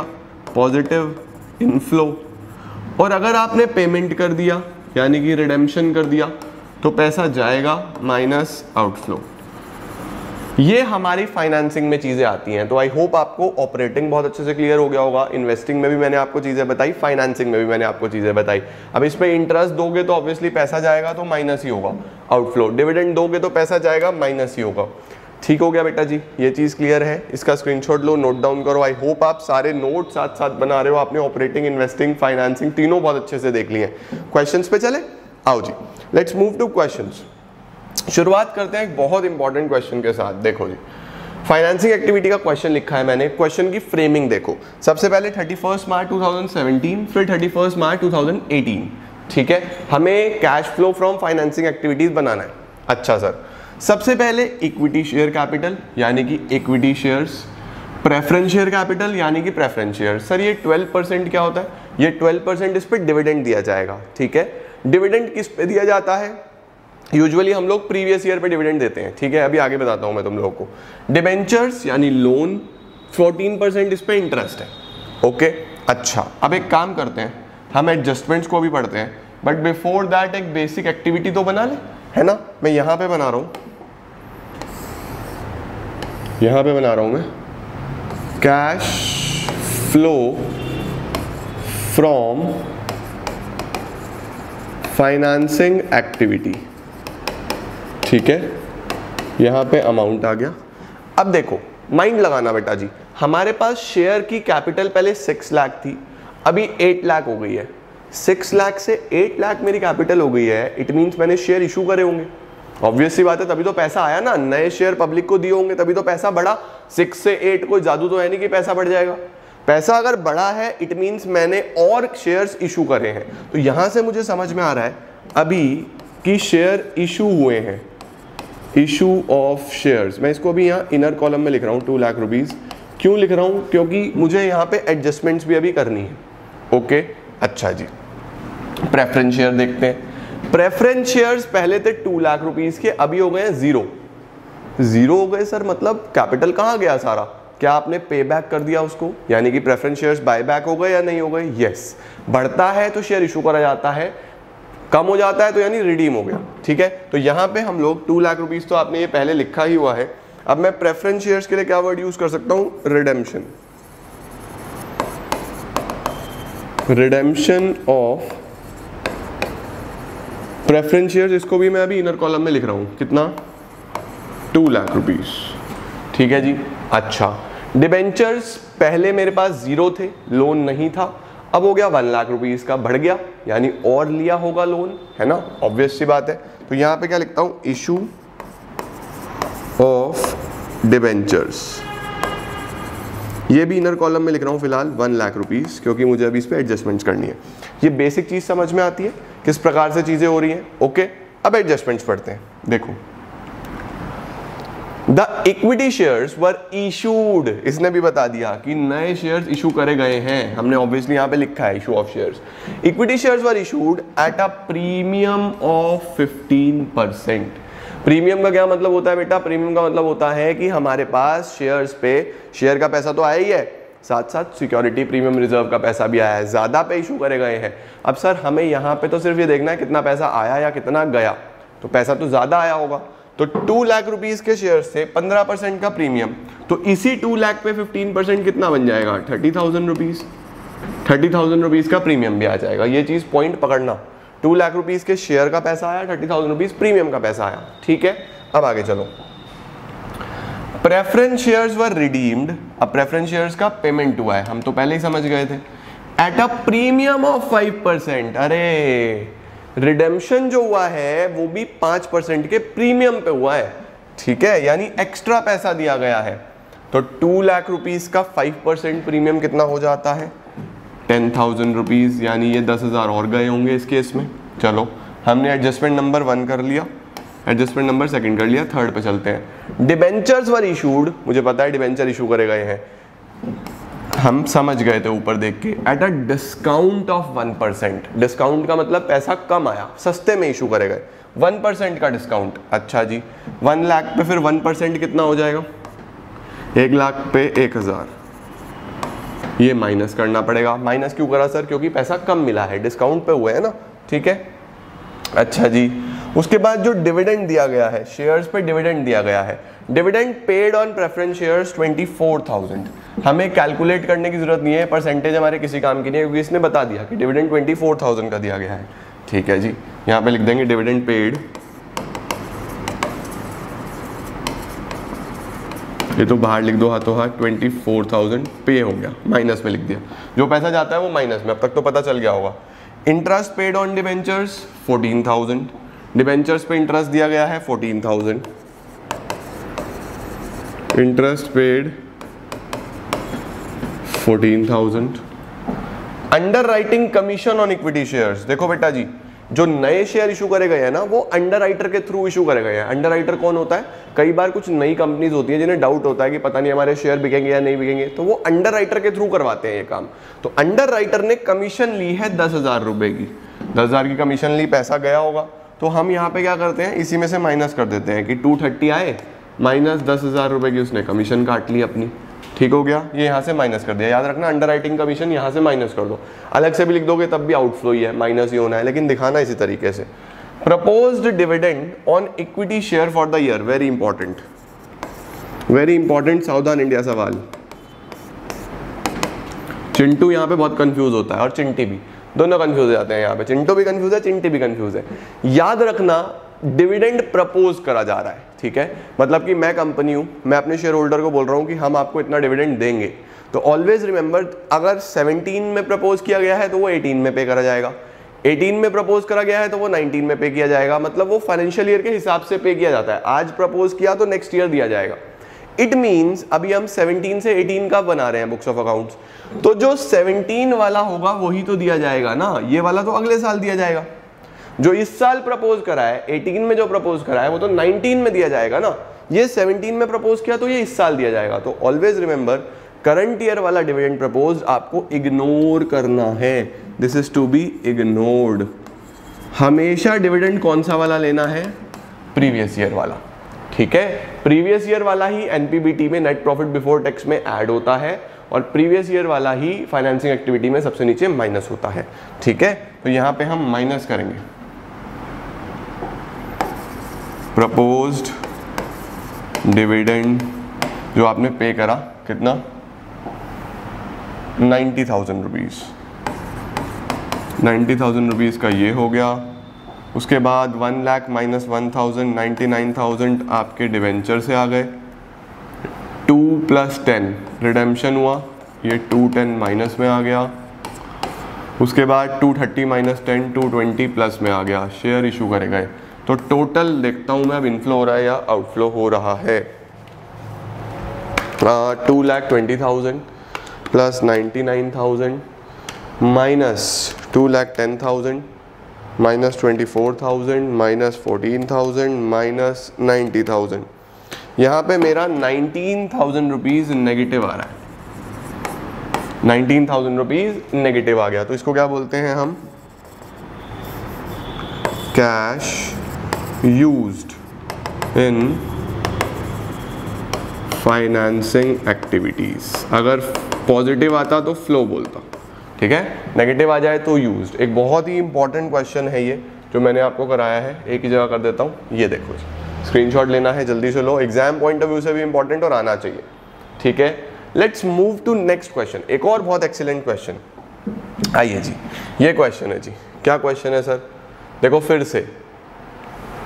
हमें 17 से 18 इक्विटी शेयर कैपिटल 20 से 30 यानी फिर से शेयर इशू करे गए होंगे। दस हज़ार रुपए, दस हज़ार नहीं, दस लाख 20 लाख से 30 लाख 10 लाख रुपीज़ आए हैं। अच्छा जी। 12 परसेंट डिवेंचर 12 परसेंट डिवेंचर यानी दो लोन है। एक लोन ये है, एक लोन ये है अलग अलग डेट्स पे लिए गए होंगे। पहले थ्री लाख का था, अब ज़ीरो हो गया। इसका मतलब ये लोन तो पे हुआ है, चुकाया गया है। अच्छा। ये वाला पहले नहीं था, अब है। यानी ये लोन लिया गया है। पहले ज़ीरो फाइव लाख हो गया। तो लोन लिया ना, तभी तो पैसा दिख रहा है। अच्छा ओवरड्राफ्ट बैंक ओवरड्राफ्ट जानते हो ना? पहले वन लाख अब एट्टी थाउज़ेंड यानी पेमेंट कर दिया मैंने ओवरड्राफ्ट का। कुछ एडजस्टमेंट्स हैं। एडजस्टमेंट्स पढ़ने से पहले हम लोग बना लेते हैं एक एक्टिविटी का हिसाब किताब। अमाउंट लिख के। Cash flow from financing activities cash flow from financing activities ये हम सीखने वाले ओके अब देखो, सबसे पहले मैं शेयर की बात करता हूँ। इक्विटी शेयर कैपिटल मुझे दिख रहा है ट्वेंटी लाख से थर्टी लाख हो गया। तो टेन लाख रुपीज़ मुझे आते हुए दिख रहे हैं, है ना? तो एक बार मैं बिना एडजस्टमेंट्स पढ़े यहाँ रफ में लिख देता हूँ। अभी शायद हो सकता है ना भी आए हूँ। इशू ऑफ़ शेयर्स मैंने इसको यहीं पे लिख दिया फ़िलहाल टेन लाख रुपीज़ यही लिख दिया। बाहर पता नहीं अभी आएगा भी या नहीं आएगा, मुझे नहीं पता। बाद में देखता हूँ, है ना? अच्छा। डिबेंचर को देख के क्या लगता है? डिबेंचर पहले थ्री लाख का था, अब ज़ीरो हो गया। यानी लोन पहले तीन लाख का था, मेरे सिर पे अब ज़ीरो कोई लोन लिया मेरे सिर पे तो चुका दिया ना मैंने, है ना? तो इसको बोलते हैं redemption of debentures redemption of 12 percent debenture sir, ये इंटरेस्ट भी तो देना पड़ेगा। हाँ देंगे, अभी देंगे। तीन लाख रुपए के डिबेंचर्स मैंने रिडीम कर दिए, पैसा चला गया। अगले वाले डिबेंचर्स पहले ज़ीरो थे, अब फाइव लाख रुपीज़ के हैं। पैसा आया है, ठीक है? तो यानी इसको क्या बोलते हैं? Issue of debentures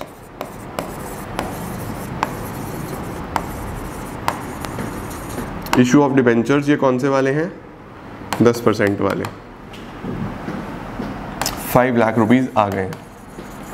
ओवरड्राफ्ट मेरे पास वन लाख से एट्टी थाउज़ेंड हो गया है। कम हो गया यानी पेमेंट हुआ होगा ऑब्वियस तो इसको बोलते हैं डिक्रीज इन ओवरड्राफ्ट कम हो गया ट्वेंटी थाउज़ेंड रुपीज़ पेमेंट ही हुआ होगा। ओके अच्छा। अब देखता हूँ मैं जरा एडजस्टमेंट्स क्या है। देखो जी।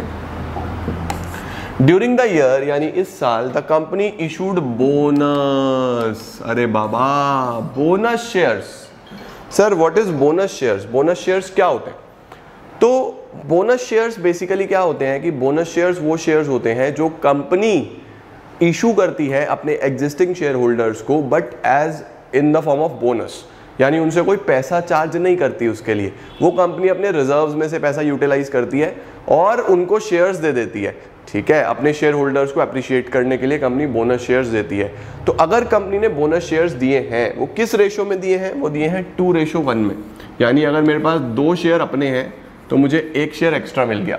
मेरे पास अगर 20 शेयर अपने हैं तो मुझे 10 शेयर एक्स्ट्रा मिल गए। मेरे पास अगर 200 शेयर अपने हैं तो मुझे 100 शेयर एक्स्ट्रा मिल गए। मेरे पास अगर 2000 शेयर अपने हैं तो मुझे एक हज़ार शेयर एक्स्ट्रा मिल गए। मेरे पास अगर बीस हज़ार शेयर अपने हैं तो मुझे दस हज़ार शेयर एक्स्ट्रा मिल गए। समझ रहे हो? इस तरीके से बोनस शेयर्स दिए जाते हैं। और कैपिटलाइजिंग रिज़र्व रिज़र्व को कैपिटलाइज करके तो मेरे पास पहले कितने शेयर्स थे? मेरे पास पहले 20 लाख रुपए के शेयर्स थे तो देखो बीस हज़ार तक पहुँच गए थे।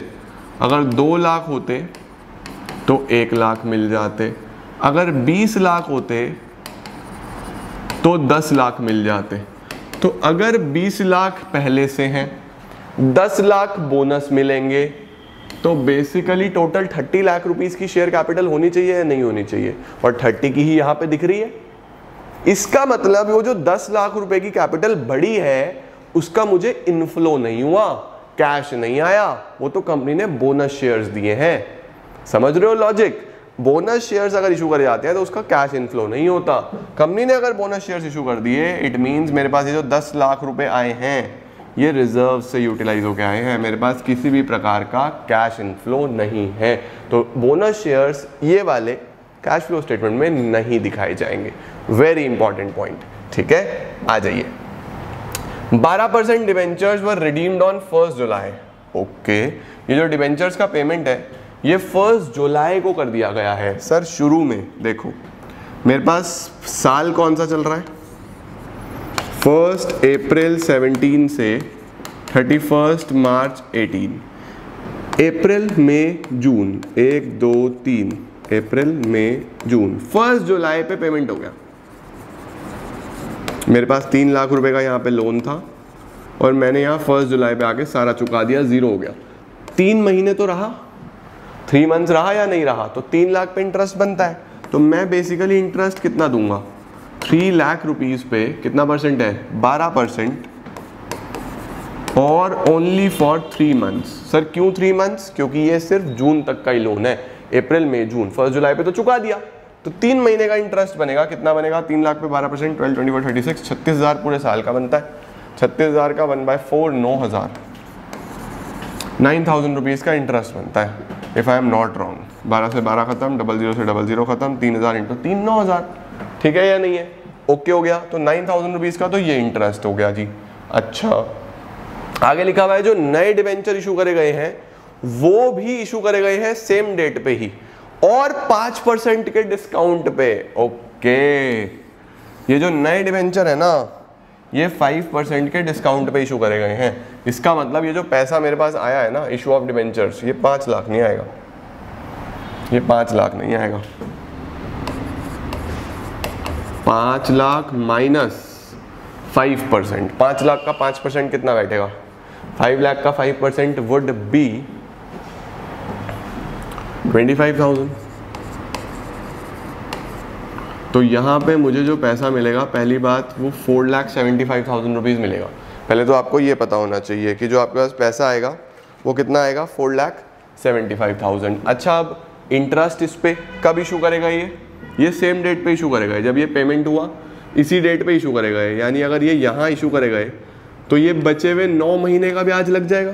भाई, अगर फ़र्स्ट जुलाई पे कोई लोन लिया तो अप्रैल में जून में तो वो लोन नहीं था फ़र्स्ट जुलाई पे लिया तो जुलाई अगस्त सितंबर अक्टूबर नवंबर दिसंबर जैन फेब मार्च तो यहाँ से अप्रैल में जून हटा दो जुलाई अगस्त सितंबर अक्टूबर नवंबर दिसंबर जैन फेब और मार्च ये नौ मंथ्स का इंटरेस्ट देना है इस पर इंटरेस्ट फाइव लाख पे दिया जाएगा, ये याद रखना इंटरेस्ट उसकी फेस वैल्यू पे दिया जाता है। इट डजेंट मैटर कि वो कैसे इशू करे गए हैं प्रीमियम पे इशू करे गए हैं या डिस्काउंट पे इशू करे गए हैं, फ़र्क नहीं पड़ता। इंटरेस्ट फेस वैल्यू पे, कितना परसेंट था इस पे interest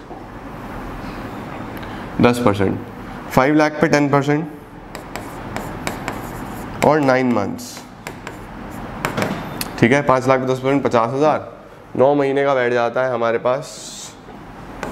Thirty seven thousand five hundred if I am not wrong calculate कर लेता हूँ मैं फिर भी। फाइव लाख पे nine months, ten percent. Thirty seven thousand five hundred बिल्कुल सही। Thirty nine thirty seven plus nine forty six thousand five hundred का टोटल इंटरेस्ट हो गया। ये हमारा इंटरेस्ट हो गया।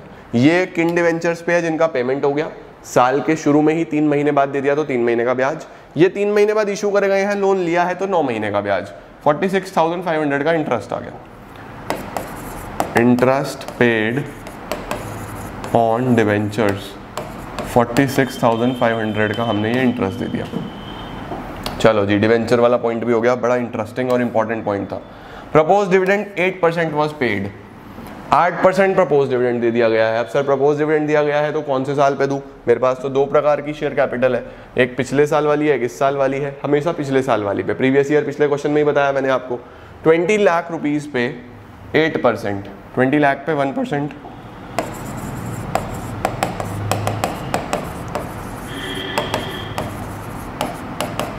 बीस लाख पे आठ परसेंट। एक लाख साठ हज़ार। एक लाख साठ हज़ार रुपये का आपने ये डिविडेंड दे दिया।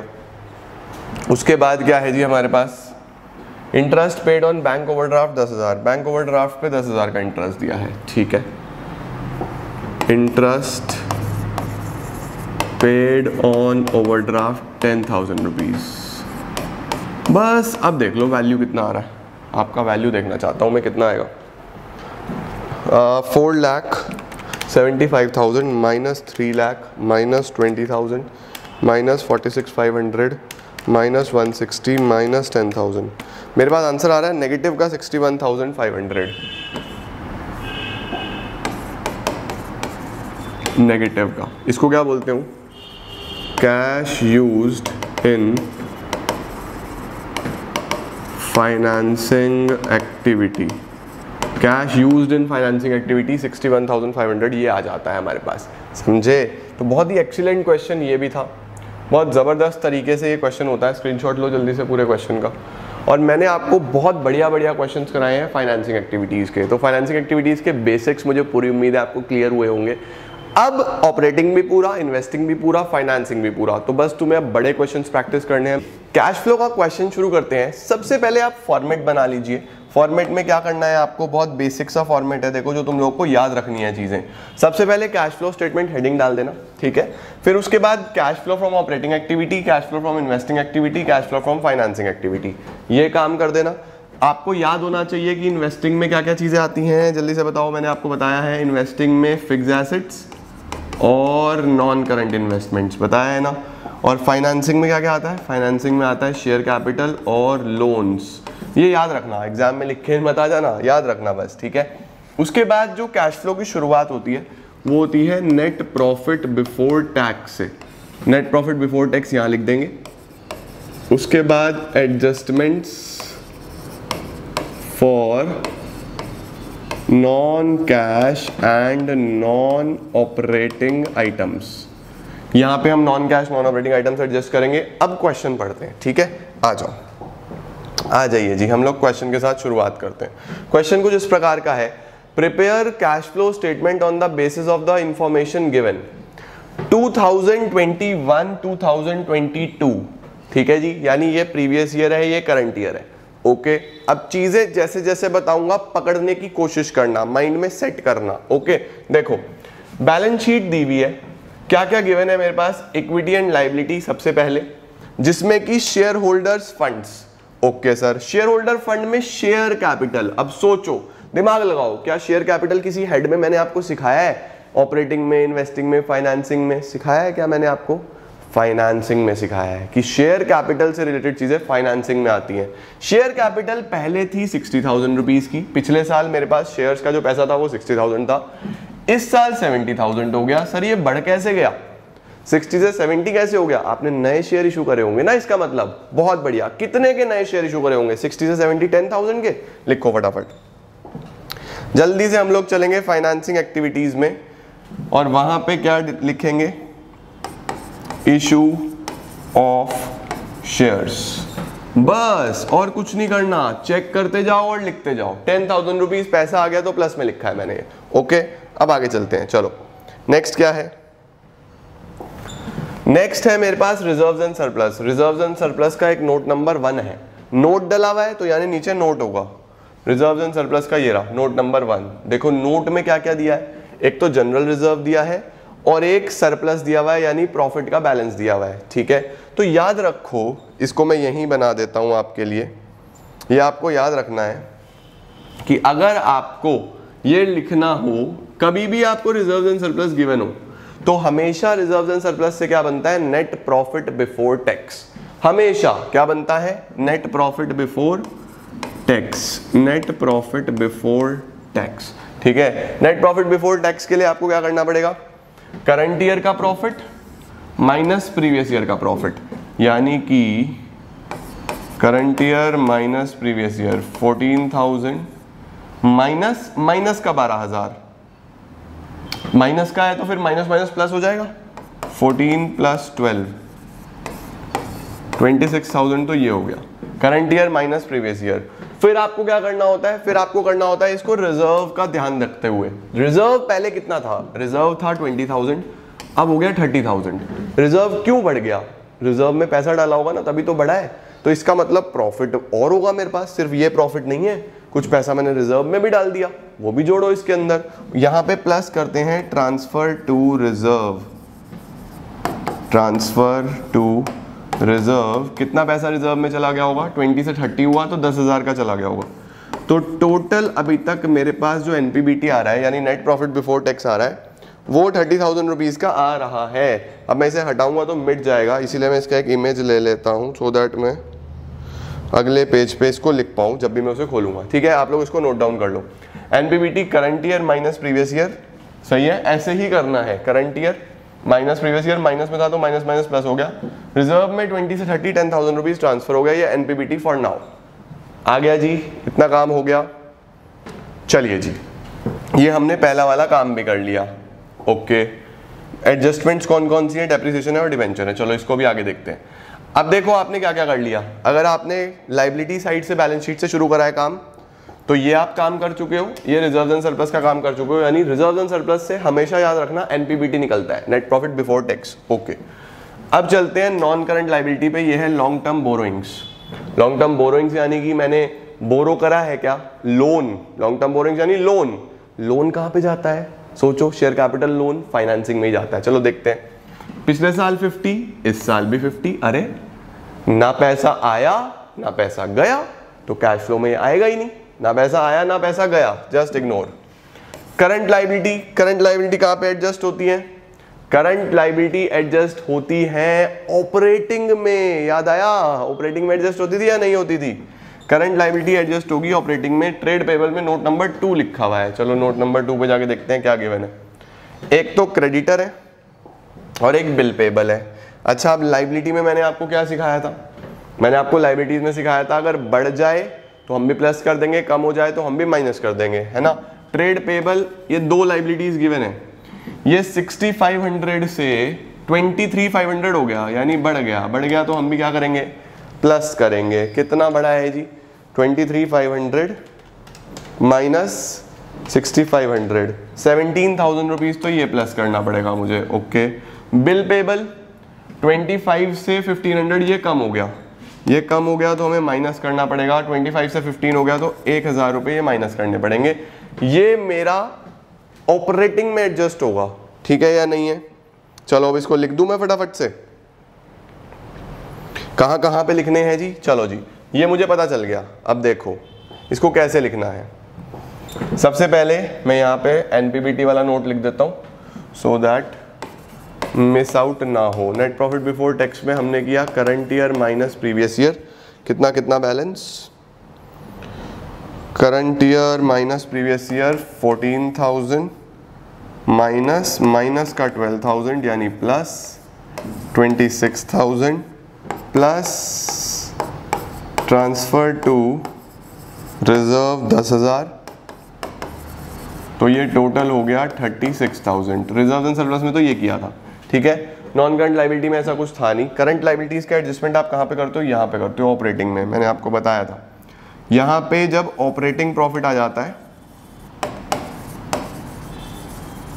ऑपरेटिंग प्रॉफिट के बाद यहाँ पे ऐड करना है और लेस करना है। ऐड क्या करना था मुझे? ऐड करना था मुझे इंक्रीज इन क्रेडिटर्स क्रेडिटर बढ़ा था। इंक्रीज इन क्रेडिटर कितना बढ़ा था? सेवनटीन थाउज़ेंड ये प्लस करना था। और कम क्या हुआ था? Decrease in bill payable bill payable एक हज़ार रुपये से कम हुए थे तो ये हमने माइनस कर दिया। देखो, यहाँ तक सारी चीज़ें बहुत अच्छी चल रही हैं। आप ऑलमोस्ट लाइबिलिटी साइड ख़त्म करने वाले हो। सब कुछ आपने पूरा का पूरा एडजस्ट कर दिया है। आ जाओ जी ज़रा फटाफट से। अब देखो, हम क्या क्या कर चुके हैं बैलेंस शीट में। शेयर कैपिटल कर दिया रिज़र्व एंड सरप्लस कर दिया। लॉन्ग टर्म बोरिंग से कुछ आया नहीं था।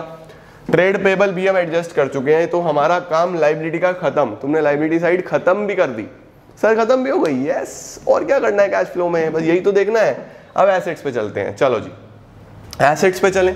तो एसेट्स में है मेरे पास non current assets fixed assets tangible assets tangible assets का मेरे पास बैलेंस है 84 और 98 एसिड का बैलेंस है। एसिड में मैंने आपको अकाउंट बनाने सिखाए थे। एसिड में हमेशा अकाउंट बनता है। ठीक है? एडजस्टमेंट क्या दिया है? एडजस्टमेंट दिया है डेप्रीसिएशन जो है, वो एट थाउज़ेंड रुपीज़ का है। डेप्रीसिएशन ड्यूरिंग द ईयर कितना है? Eight thousand okay depreciation eight thousand है। अब एक बात याद रखना, ये एक एडजस्टमेंट है। जितनी भी एडजस्टमेंट्स आप कैश फ्लो में पढ़ेंगे, वो सभी एडजस्टमेंट दो दो प्लेस पे जाएँगी, यानी हर एडजस्टमेंट का डुअल इंपैक्ट होता है। ये आपने क्लास इलेवंथ में भी पढ़ा फाइनेंशियल स्टेटमेंट्स में, या आप लोगों ने क्लास ट्वेल्थ एनपीओ में पार्टनरशिप में सब पढ़ते आ रहे हो। जितनी भी एडजस्टमेंट है दो दो जगह पे जाती है है ना? यहाँ भी सेम ट्रीटमेंट है। अब जैसे डेप्रीसिएशन है, चलो डेप्रीसिएशन कितना दिया हुआ है? एट और एसेट का ओपनिंग क्लोजिंग कितना है? Eighty four ninety eight eighty four ninety eight चलो। एसेट का अकाउंट बनाते हैं। Working note number two working note number one ये हो गया। वर्किंग नोट नंबर टू हम बनाएँगे एसेट का अकाउंट एसेट का अकाउंट बनाना मैंने आपको सिखाया था। स्ट्रेट फॉरवर्ड ओपनिंग क्लोजिंग लिखना है। ठीक है? चलिए। सबसे पहले to balance brought down by balance carried down opening closing कितना था? डेप्रिसिएशन तो 8000 था। ओपनिंग है 8498 84,000 शुरू में है 98,000 क्लोजिंग में है और बाय डेप्रीसिएशन जो गिवन है वो 8,000 का गिवन है। एक बार मैं फिर भी कंफर्म कर लूँ। ओपनिंग 84 क्लोजिंग 98 और जो डेप्रीसिएशन प्रोवाइडेड है वो 8000 है। ठीक है जी। यही सब सीखा था हम लोगों ने। अब क्या करें सर? ये पूरा का पूरा काम तो कर दिया हमने। अब आपको सिंपली क्या करना है? आपको देखना है कि बैलेंस किधर आ रहा है। देखो, इधर 84 इधर 98 plus eight one lakh six thousand और इधर 84 तो बैलेंस यहाँ पे आ जाएगा। टू बैंक और बैलेंस अगर इधर आता है तो उसको क्या बोलते हैं? परचेज ठीक है? तो 98 plus eight one six minus eighty four twenty two thousand rupees आपके पास परचेज बचेगा। ट्वेंटी टू थाउज़ेंड रुपीज़ का आपके पास क्या बचता है? परचेज बच जाता है। ठीक है जी? अब मोस्ट इंपॉर्टेंट पार्ट इज़ क्या है? इसको पोस्ट करना। इसको पोस्ट कैसे करेंगे? देखो बैलेंस कहीं नहीं जाते। ये बैलेंस आप जस्ट इग्नोर करोगे। कहीं पे भी आप ये बैलेंसेस पोस्ट नहीं करोगे। ठीक है? उसके बाद ये जो डेप्रीसिएशन है, ये एडजस्टमेंट था। एक तो यहाँ पे आ गया अकाउंट में। दूसरी जगह मैंने आपको सिखाया था ऑपरेटिंग में सबसे ऊपर प्लस होता है, क्योंकि वो नॉन कैश वाली आइटम है। है ना? तो डेप्रीसिएशन आप सबसे ऊपर यहाँ पे प्लस कर देंगे। एड डेप्रीसिएशन पूरा ही लिख लो। कितना है जी? एट थाउज़ेंड रुपीज़ आठ हज़ार रुपए का डेप्रिसिएशन प्लस कर दिया हमने यहाँ पे, क्योंकि ये non cash non operating item है। बचा परचेज परचेज ऑफ़ एसेट कहाँ लिखना है? एसेट कहाँ पे आता है? यहाँ पे। इन्वेस्टिंग में। तो purchase of asset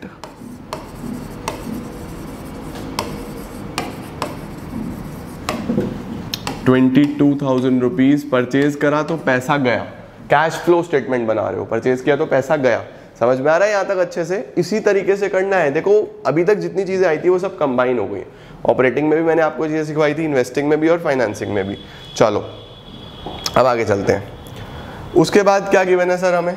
उसके बाद हमें गिवन है non current investments non current investment शुरू में कितने की थी? सिक्स थाउज़ेंड की। अब कितने की हो गई है? सिक्सटीन थाउज़ेंड की।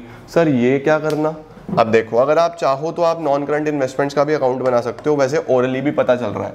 लेकिन फिर भी अगर तुम्हें अकाउंट बनाना हो तो देखो, मैं तुम्हें थोड़ी सी हेल्प करता हूँ। सपोज़ ओपनिंग में बैलेंस ब्रॉड डाउन ओपनिंग में है सिक्स थाउज़ेंड और क्लोजिंग में कितना है? सिक्सटीन थाउज़ेंड ओपनिंग में सिक्स क्लोजिंग में सिक्सटीन ये लिख दिया। और कुछ गिवन नहीं है। कुछ भी गिवन नहीं है तो बैलेंस यहाँ पे निकल के आएगा। और जब भी बैलेंस डेबिट में आता है तो उसको क्या बोलते हो? परचेज कितना? दस हज़ार रुपये टेन थाउज़ेंड रुपीज़ का परचेज निकल आया। और वो आप कॉमन सेंस से भी देख पा रहे थे कि शुरू में नॉन करंट इन्वेस्टमेंट्स छः हज़ार की थी। लास्ट में 16 की हो गई एकदम से थोड़ी ना बढ़ जाएँगी इतनी। तो ये परचेज है। आपने 10,000 की और बाय करी। ठीक है? तो बैलेंस तो कहीं नहीं जाता। बस दस हज़ार रुपए की जो परचेज है, ये कहा जाएगी हमारी? कौन सी एक्टिविटी में? इन्वेस्टिंग एक्टिविटी में। चलो जी। Purchase of non current investments कितने रुपीस की? टेन थाउज़ेंड रुपीज़ की हमने नॉन करंट इन्वेस्टमेंट खरीद ली। पैसा चला गया। बहुत सिंपल चल रहा है अभी तक। समझ में आ रहा है ना सारा? चलो। ध्यान से करना। क्वेश्चन की प्रैक्टिस ऐसे ही करनी है। अच्छा जी। ये भी कर दिया, ये भी कर दिया, ये भी कर दिया। अब चलते हैं करंट एसेट पे। सर करंट एसेट कहाँ? सबसे ऊपर करंट एसेट करंट लाइबिलिटी याद है? लेकिन यहाँ पे मेरे पास करंट इन्वेस्टमेंट्स और कैश और बैंक बैलेंस ये दो चीज़ें दी हैं। करंट इन्वेस्टमेंट्स हो या कैश और बैंक बैलेंस हो, ये हमारे दोनों कैश एंड कैश इक्विवेलेंट्स का पार्ट होते हैं। बिल्कुल फ़र्स्ट पार्ट में मैंने आपको कैश एंड कैश इक्विवेलेंट्स लिखवाए थे। क्या क्या होते हैं? Cash bank balance current investments marketable securities ये याद रखना। चार चीज़ें याद रखना। Cash bank balance draft cheques और मार्केटेबल सिक्योरिटीज और करंट इन्वेस्टमेंट्स तो इन्हें याद रखेंगे कि ये हमारे बेसिकली क्या है? कैश एंड कैश इक्विवेलेंट्स है। ओके अच्छा। बेसिक इसको अलग लिखता हूँ मैं अभी। ओके इन्वेंट्री बच गया करंट एसेट बस। इन्वेंट्री आपका करंट एसेट बच गया, अब एसेट में चलता है उल्टा हिसाब किताब। बढ़ा तो माइनस, कम हुआ तो प्लस, ठीक है? अब देखो ये 12 से 49 हो गया। 12 से कितना हो गया? 49 तो 37 से बढ़ गया। ये बढ़ गया है, जो इन्वेंट्री है, ये बढ़ गया है 37 से। बढ़ गया तो हम क्या करेंगे? माइनस। बढ़ गया तो हम क्या करेंगे? माइनस करेंगे सबसे ऊपर, ठीक है? और ये दोनों कैश एंड कैश इक्विवेलेंट्स का पार्ट है, इसका अभी कुछ नहीं करना ओके मैं इसका फ़ोटो ले लूँ। सो दैट मैं आगे लिख पाऊँ। कैश एंड कैश इक्विवेलेंट्स और ये। करंट इन्वेस्टमेंट्स और कैश और बैंक बैलेंसेस चलो। करंट इन्वेस्टमेंट्स और कैश और बैंक बैलेंसेस की अगर हम बात करें तो सबसे पहले तो मैं ऊपर का एक काम कर लेता हूँ यहाँ पे। जो हमारा इन्वेंट्री है, इन्वेंट्री में क्या हुआ था? इन्वेंट्री बढ़ गया था। बढ़ गया था तो हम लेस करेंगे। इंक्रीज इन इन्वेंट्री इन्वेंट्री कितने से बढ़ा है? थर्टी सेवन थाउज़ेंड रुपीज़ से। ये याद रखना बेटा जी। लाइबिलिटी में सीधा सीधा हिसाब किताब एसेट्स में उल्टा हिसाब किताब। ओके अच्छा जी। अब कैश एंड कैश इक्विवेलेंट का नोट नंबर थ्री बना लो। नोट नंबर टू बना चुका हूँ मैं। Note number three working note number three cash and cash equivalents cash and cash equivalents current year previous year इसमें मेरे पास करंट इन्वेस्टमेंट है और कैश एंड बैंक का बैलेंस है। कैश एंड बैंक बैलेंस कितने कितने थे? पाँच हज़ार, आठ हज़ार का तो कैश और बैंक बैलेंस था और बीस हज़ार और अट्ठारह हज़ार रुपये के करंट इन्वेस्टमेंट से। याद रखना है कैश और कैश इक्विलेंट्स को एक साथ लिख लेना है आपने ऐड करके, ठीक है? तो मुझे बताओ कैश और कैश इक्विलेंट्स पिछले साल कितने के थे? Twenty plus five twenty five और इस साल एटीन और एट 26 इनका भी कुछ नहीं करना, बस लिख के रखो। पिछले साल 25 इस साल 26 बाकी सब कर दिया हमने? ठीक है? देखो, मैंने बस प्लस करे। 20 प्लस फाइव ट्वेंटी पिछले साल के और 18 प्लस एट ट्वेंटी इस साल के। ये सब हो गया। बैलेंस शीट खत्म हो गया। बहुत बढ़िया। अब नोट्स चेक कर लो। ये एनपीबीटी में यूज़ हो गया। ये करंट लाइबिलिटी में यूज़ हो गया था। डन एडिशनल इन्फॉर्मेशन डेप्रिसिएशन हो चुका है। अब क्या बचा? एक छोटा सा लिखा हुआ है। इंटरेस्ट ऑन डिवेंचर पाँच हज़ार। आपने डिबेंचर पे इंटरेस्ट दिया है फाइव थाउज़ेंड अब सोचो, वो इंटरेस्ट किस पे दिया है? डिवेंचर पे। कितना? फाइव थाउज़ेंड रुपीज़ लोन पे इंटरेस्ट हो गया। लोन वाली कोई भी चीज़ कहा जाएगी? फाइनेंसिंग में। तो पाँच हज़ार रुपए का इंटरेस्ट दिया। फाइव थाउज़ेंड रुपीज़ का इंटरेस्ट दिया। यहाँ पे लिखेंगे। Interest paid on debenture five thousand payment हुआ तो पैसा गया, इसको माइनस कर देंगे। ठीक है जी? अब आपको एक बात याद रखनी है बेटा। दिस इज़ एक कौन सा आइटम है ये? पहली बात तो एडजस्टमेंट है। एडजस्टमेंट है तो दो जगह जाएगा। जितनी भी एडजस्टमेंट्स है ना, मैं तुम्हें बता रहा हूँ, जितनी भी एडजस्टमेंट्स हैं, वो अगर यहाँ माइनस हुई है तो ऊपर प्लस होगी, यहाँ प्लस हुई है तो ऊपर माइनस होगी। ये तो एक ट्रिक है तो कि तुम्हारी गलती ना हो। दूसरी चीज़ मैं तुम्हें ये बता रहा हूँ कि ये एक non cash non operating item है।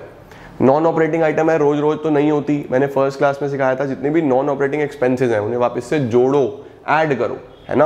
और यहाँ पे माइनस हुआ है तो ऊपर प्लस ही होगा। तो आपको क्या करना है? इंटरेस्ट पेड ऑन डिवेंचर यहाँ माइनस हुआ। यहाँ पे ऐड होगा। Interest on debenture five thousand rupees plus हो गया? ठीक है जी। चलो जी, अब हमारे पास नेट प्रॉफिट बिफोर टैक्स कितना था? ये फाइनल है। थर्टी सिक्स थाउज़ेंड रुपीज़ तो N P B T thirty six thousand ले आओ। Thirty six thousand. Non cash non operating items आठ प्लस पाँच तेरह। Thirteen thousand. तो operating profit before working capital changes इसको क्या बोलते हैं? Operating profit before working capital changes कितना आ गया? Thirty six plus thirteen three four six three nine forty nine thousand अब करंट एसेट्स और करंट लाइबिलिटीज एडजस्ट कर दो.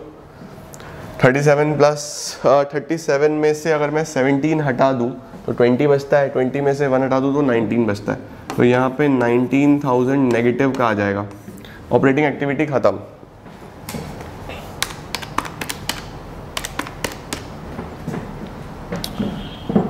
नहीं माइनस का था ना यार।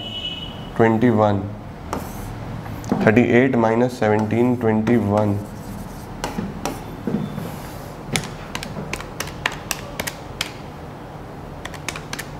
ठीक है जी। अब आपको क्या करना है बस? Forty nine thousand minus twenty one thousand twenty eight thousand rupees आपका बाहर आ गया। इसको क्या बोलोगे आप? मेरे पास जगह नहीं है, लेकिन आप लोग यहाँ पे एक लाइन में लिख देना। क्या? पॉजिटिव आया ना तो cash flow from operating activity इसे क्या बोलते हैं? Cash flow from operating activity ठीक है? इन्वेस्टिंग से क्या आ रहा है जी? इन्वेस्टिंग से तो नेगेटिव में ही जा रही है फिगर 22 और 10 32 32,000 नेगेटिव का. 32,000 नेगेटिव का तो इसको क्या बोलते हैं? Cash used in investing activity अगर पॉजिटिव आए तो फ्लो नेगेटिव आए तो यूज्ड ठीक है? अच्छा इसमें क्या आएगा? फाइनेंसिंग में टेन माइनस फाइव फाइव और यहाँ पे भी फाइव आ जाएगा। ठीक है जी? इसको क्या बोलते हैं? Cash flow from financing activity ठीक है जी ओके हो गया। अब आपको क्या करना है? अब आपको करना है A plus B plus C यानी कि तीनों का फाइनल आपको प्लस करना है। सर, तीनों का फाइनल मतलब कि तीनों में कितना कितना आंसर आया? ऑपरेटिंग में 28 आया था इन्वेस्टिंग में माइनस का 32 और ये प्लस का 5 तो 28 plus five thirty three thirty three minus thirty two एक हज़ार। A plus B plus C कितना आ गया? 1000 इसमें क्या ऐड करना है? इसमें प्लस करना है ओपनिंग या फिर प्रीवियस ईयर वाले cash and cash equivalents previous year वाले सर प्रीवियस ईयर वाले कैश और कैश इक्विवेलेंट ये थे 25 इसमें प्लस कर दो। 25 इसमें प्लस कर दो।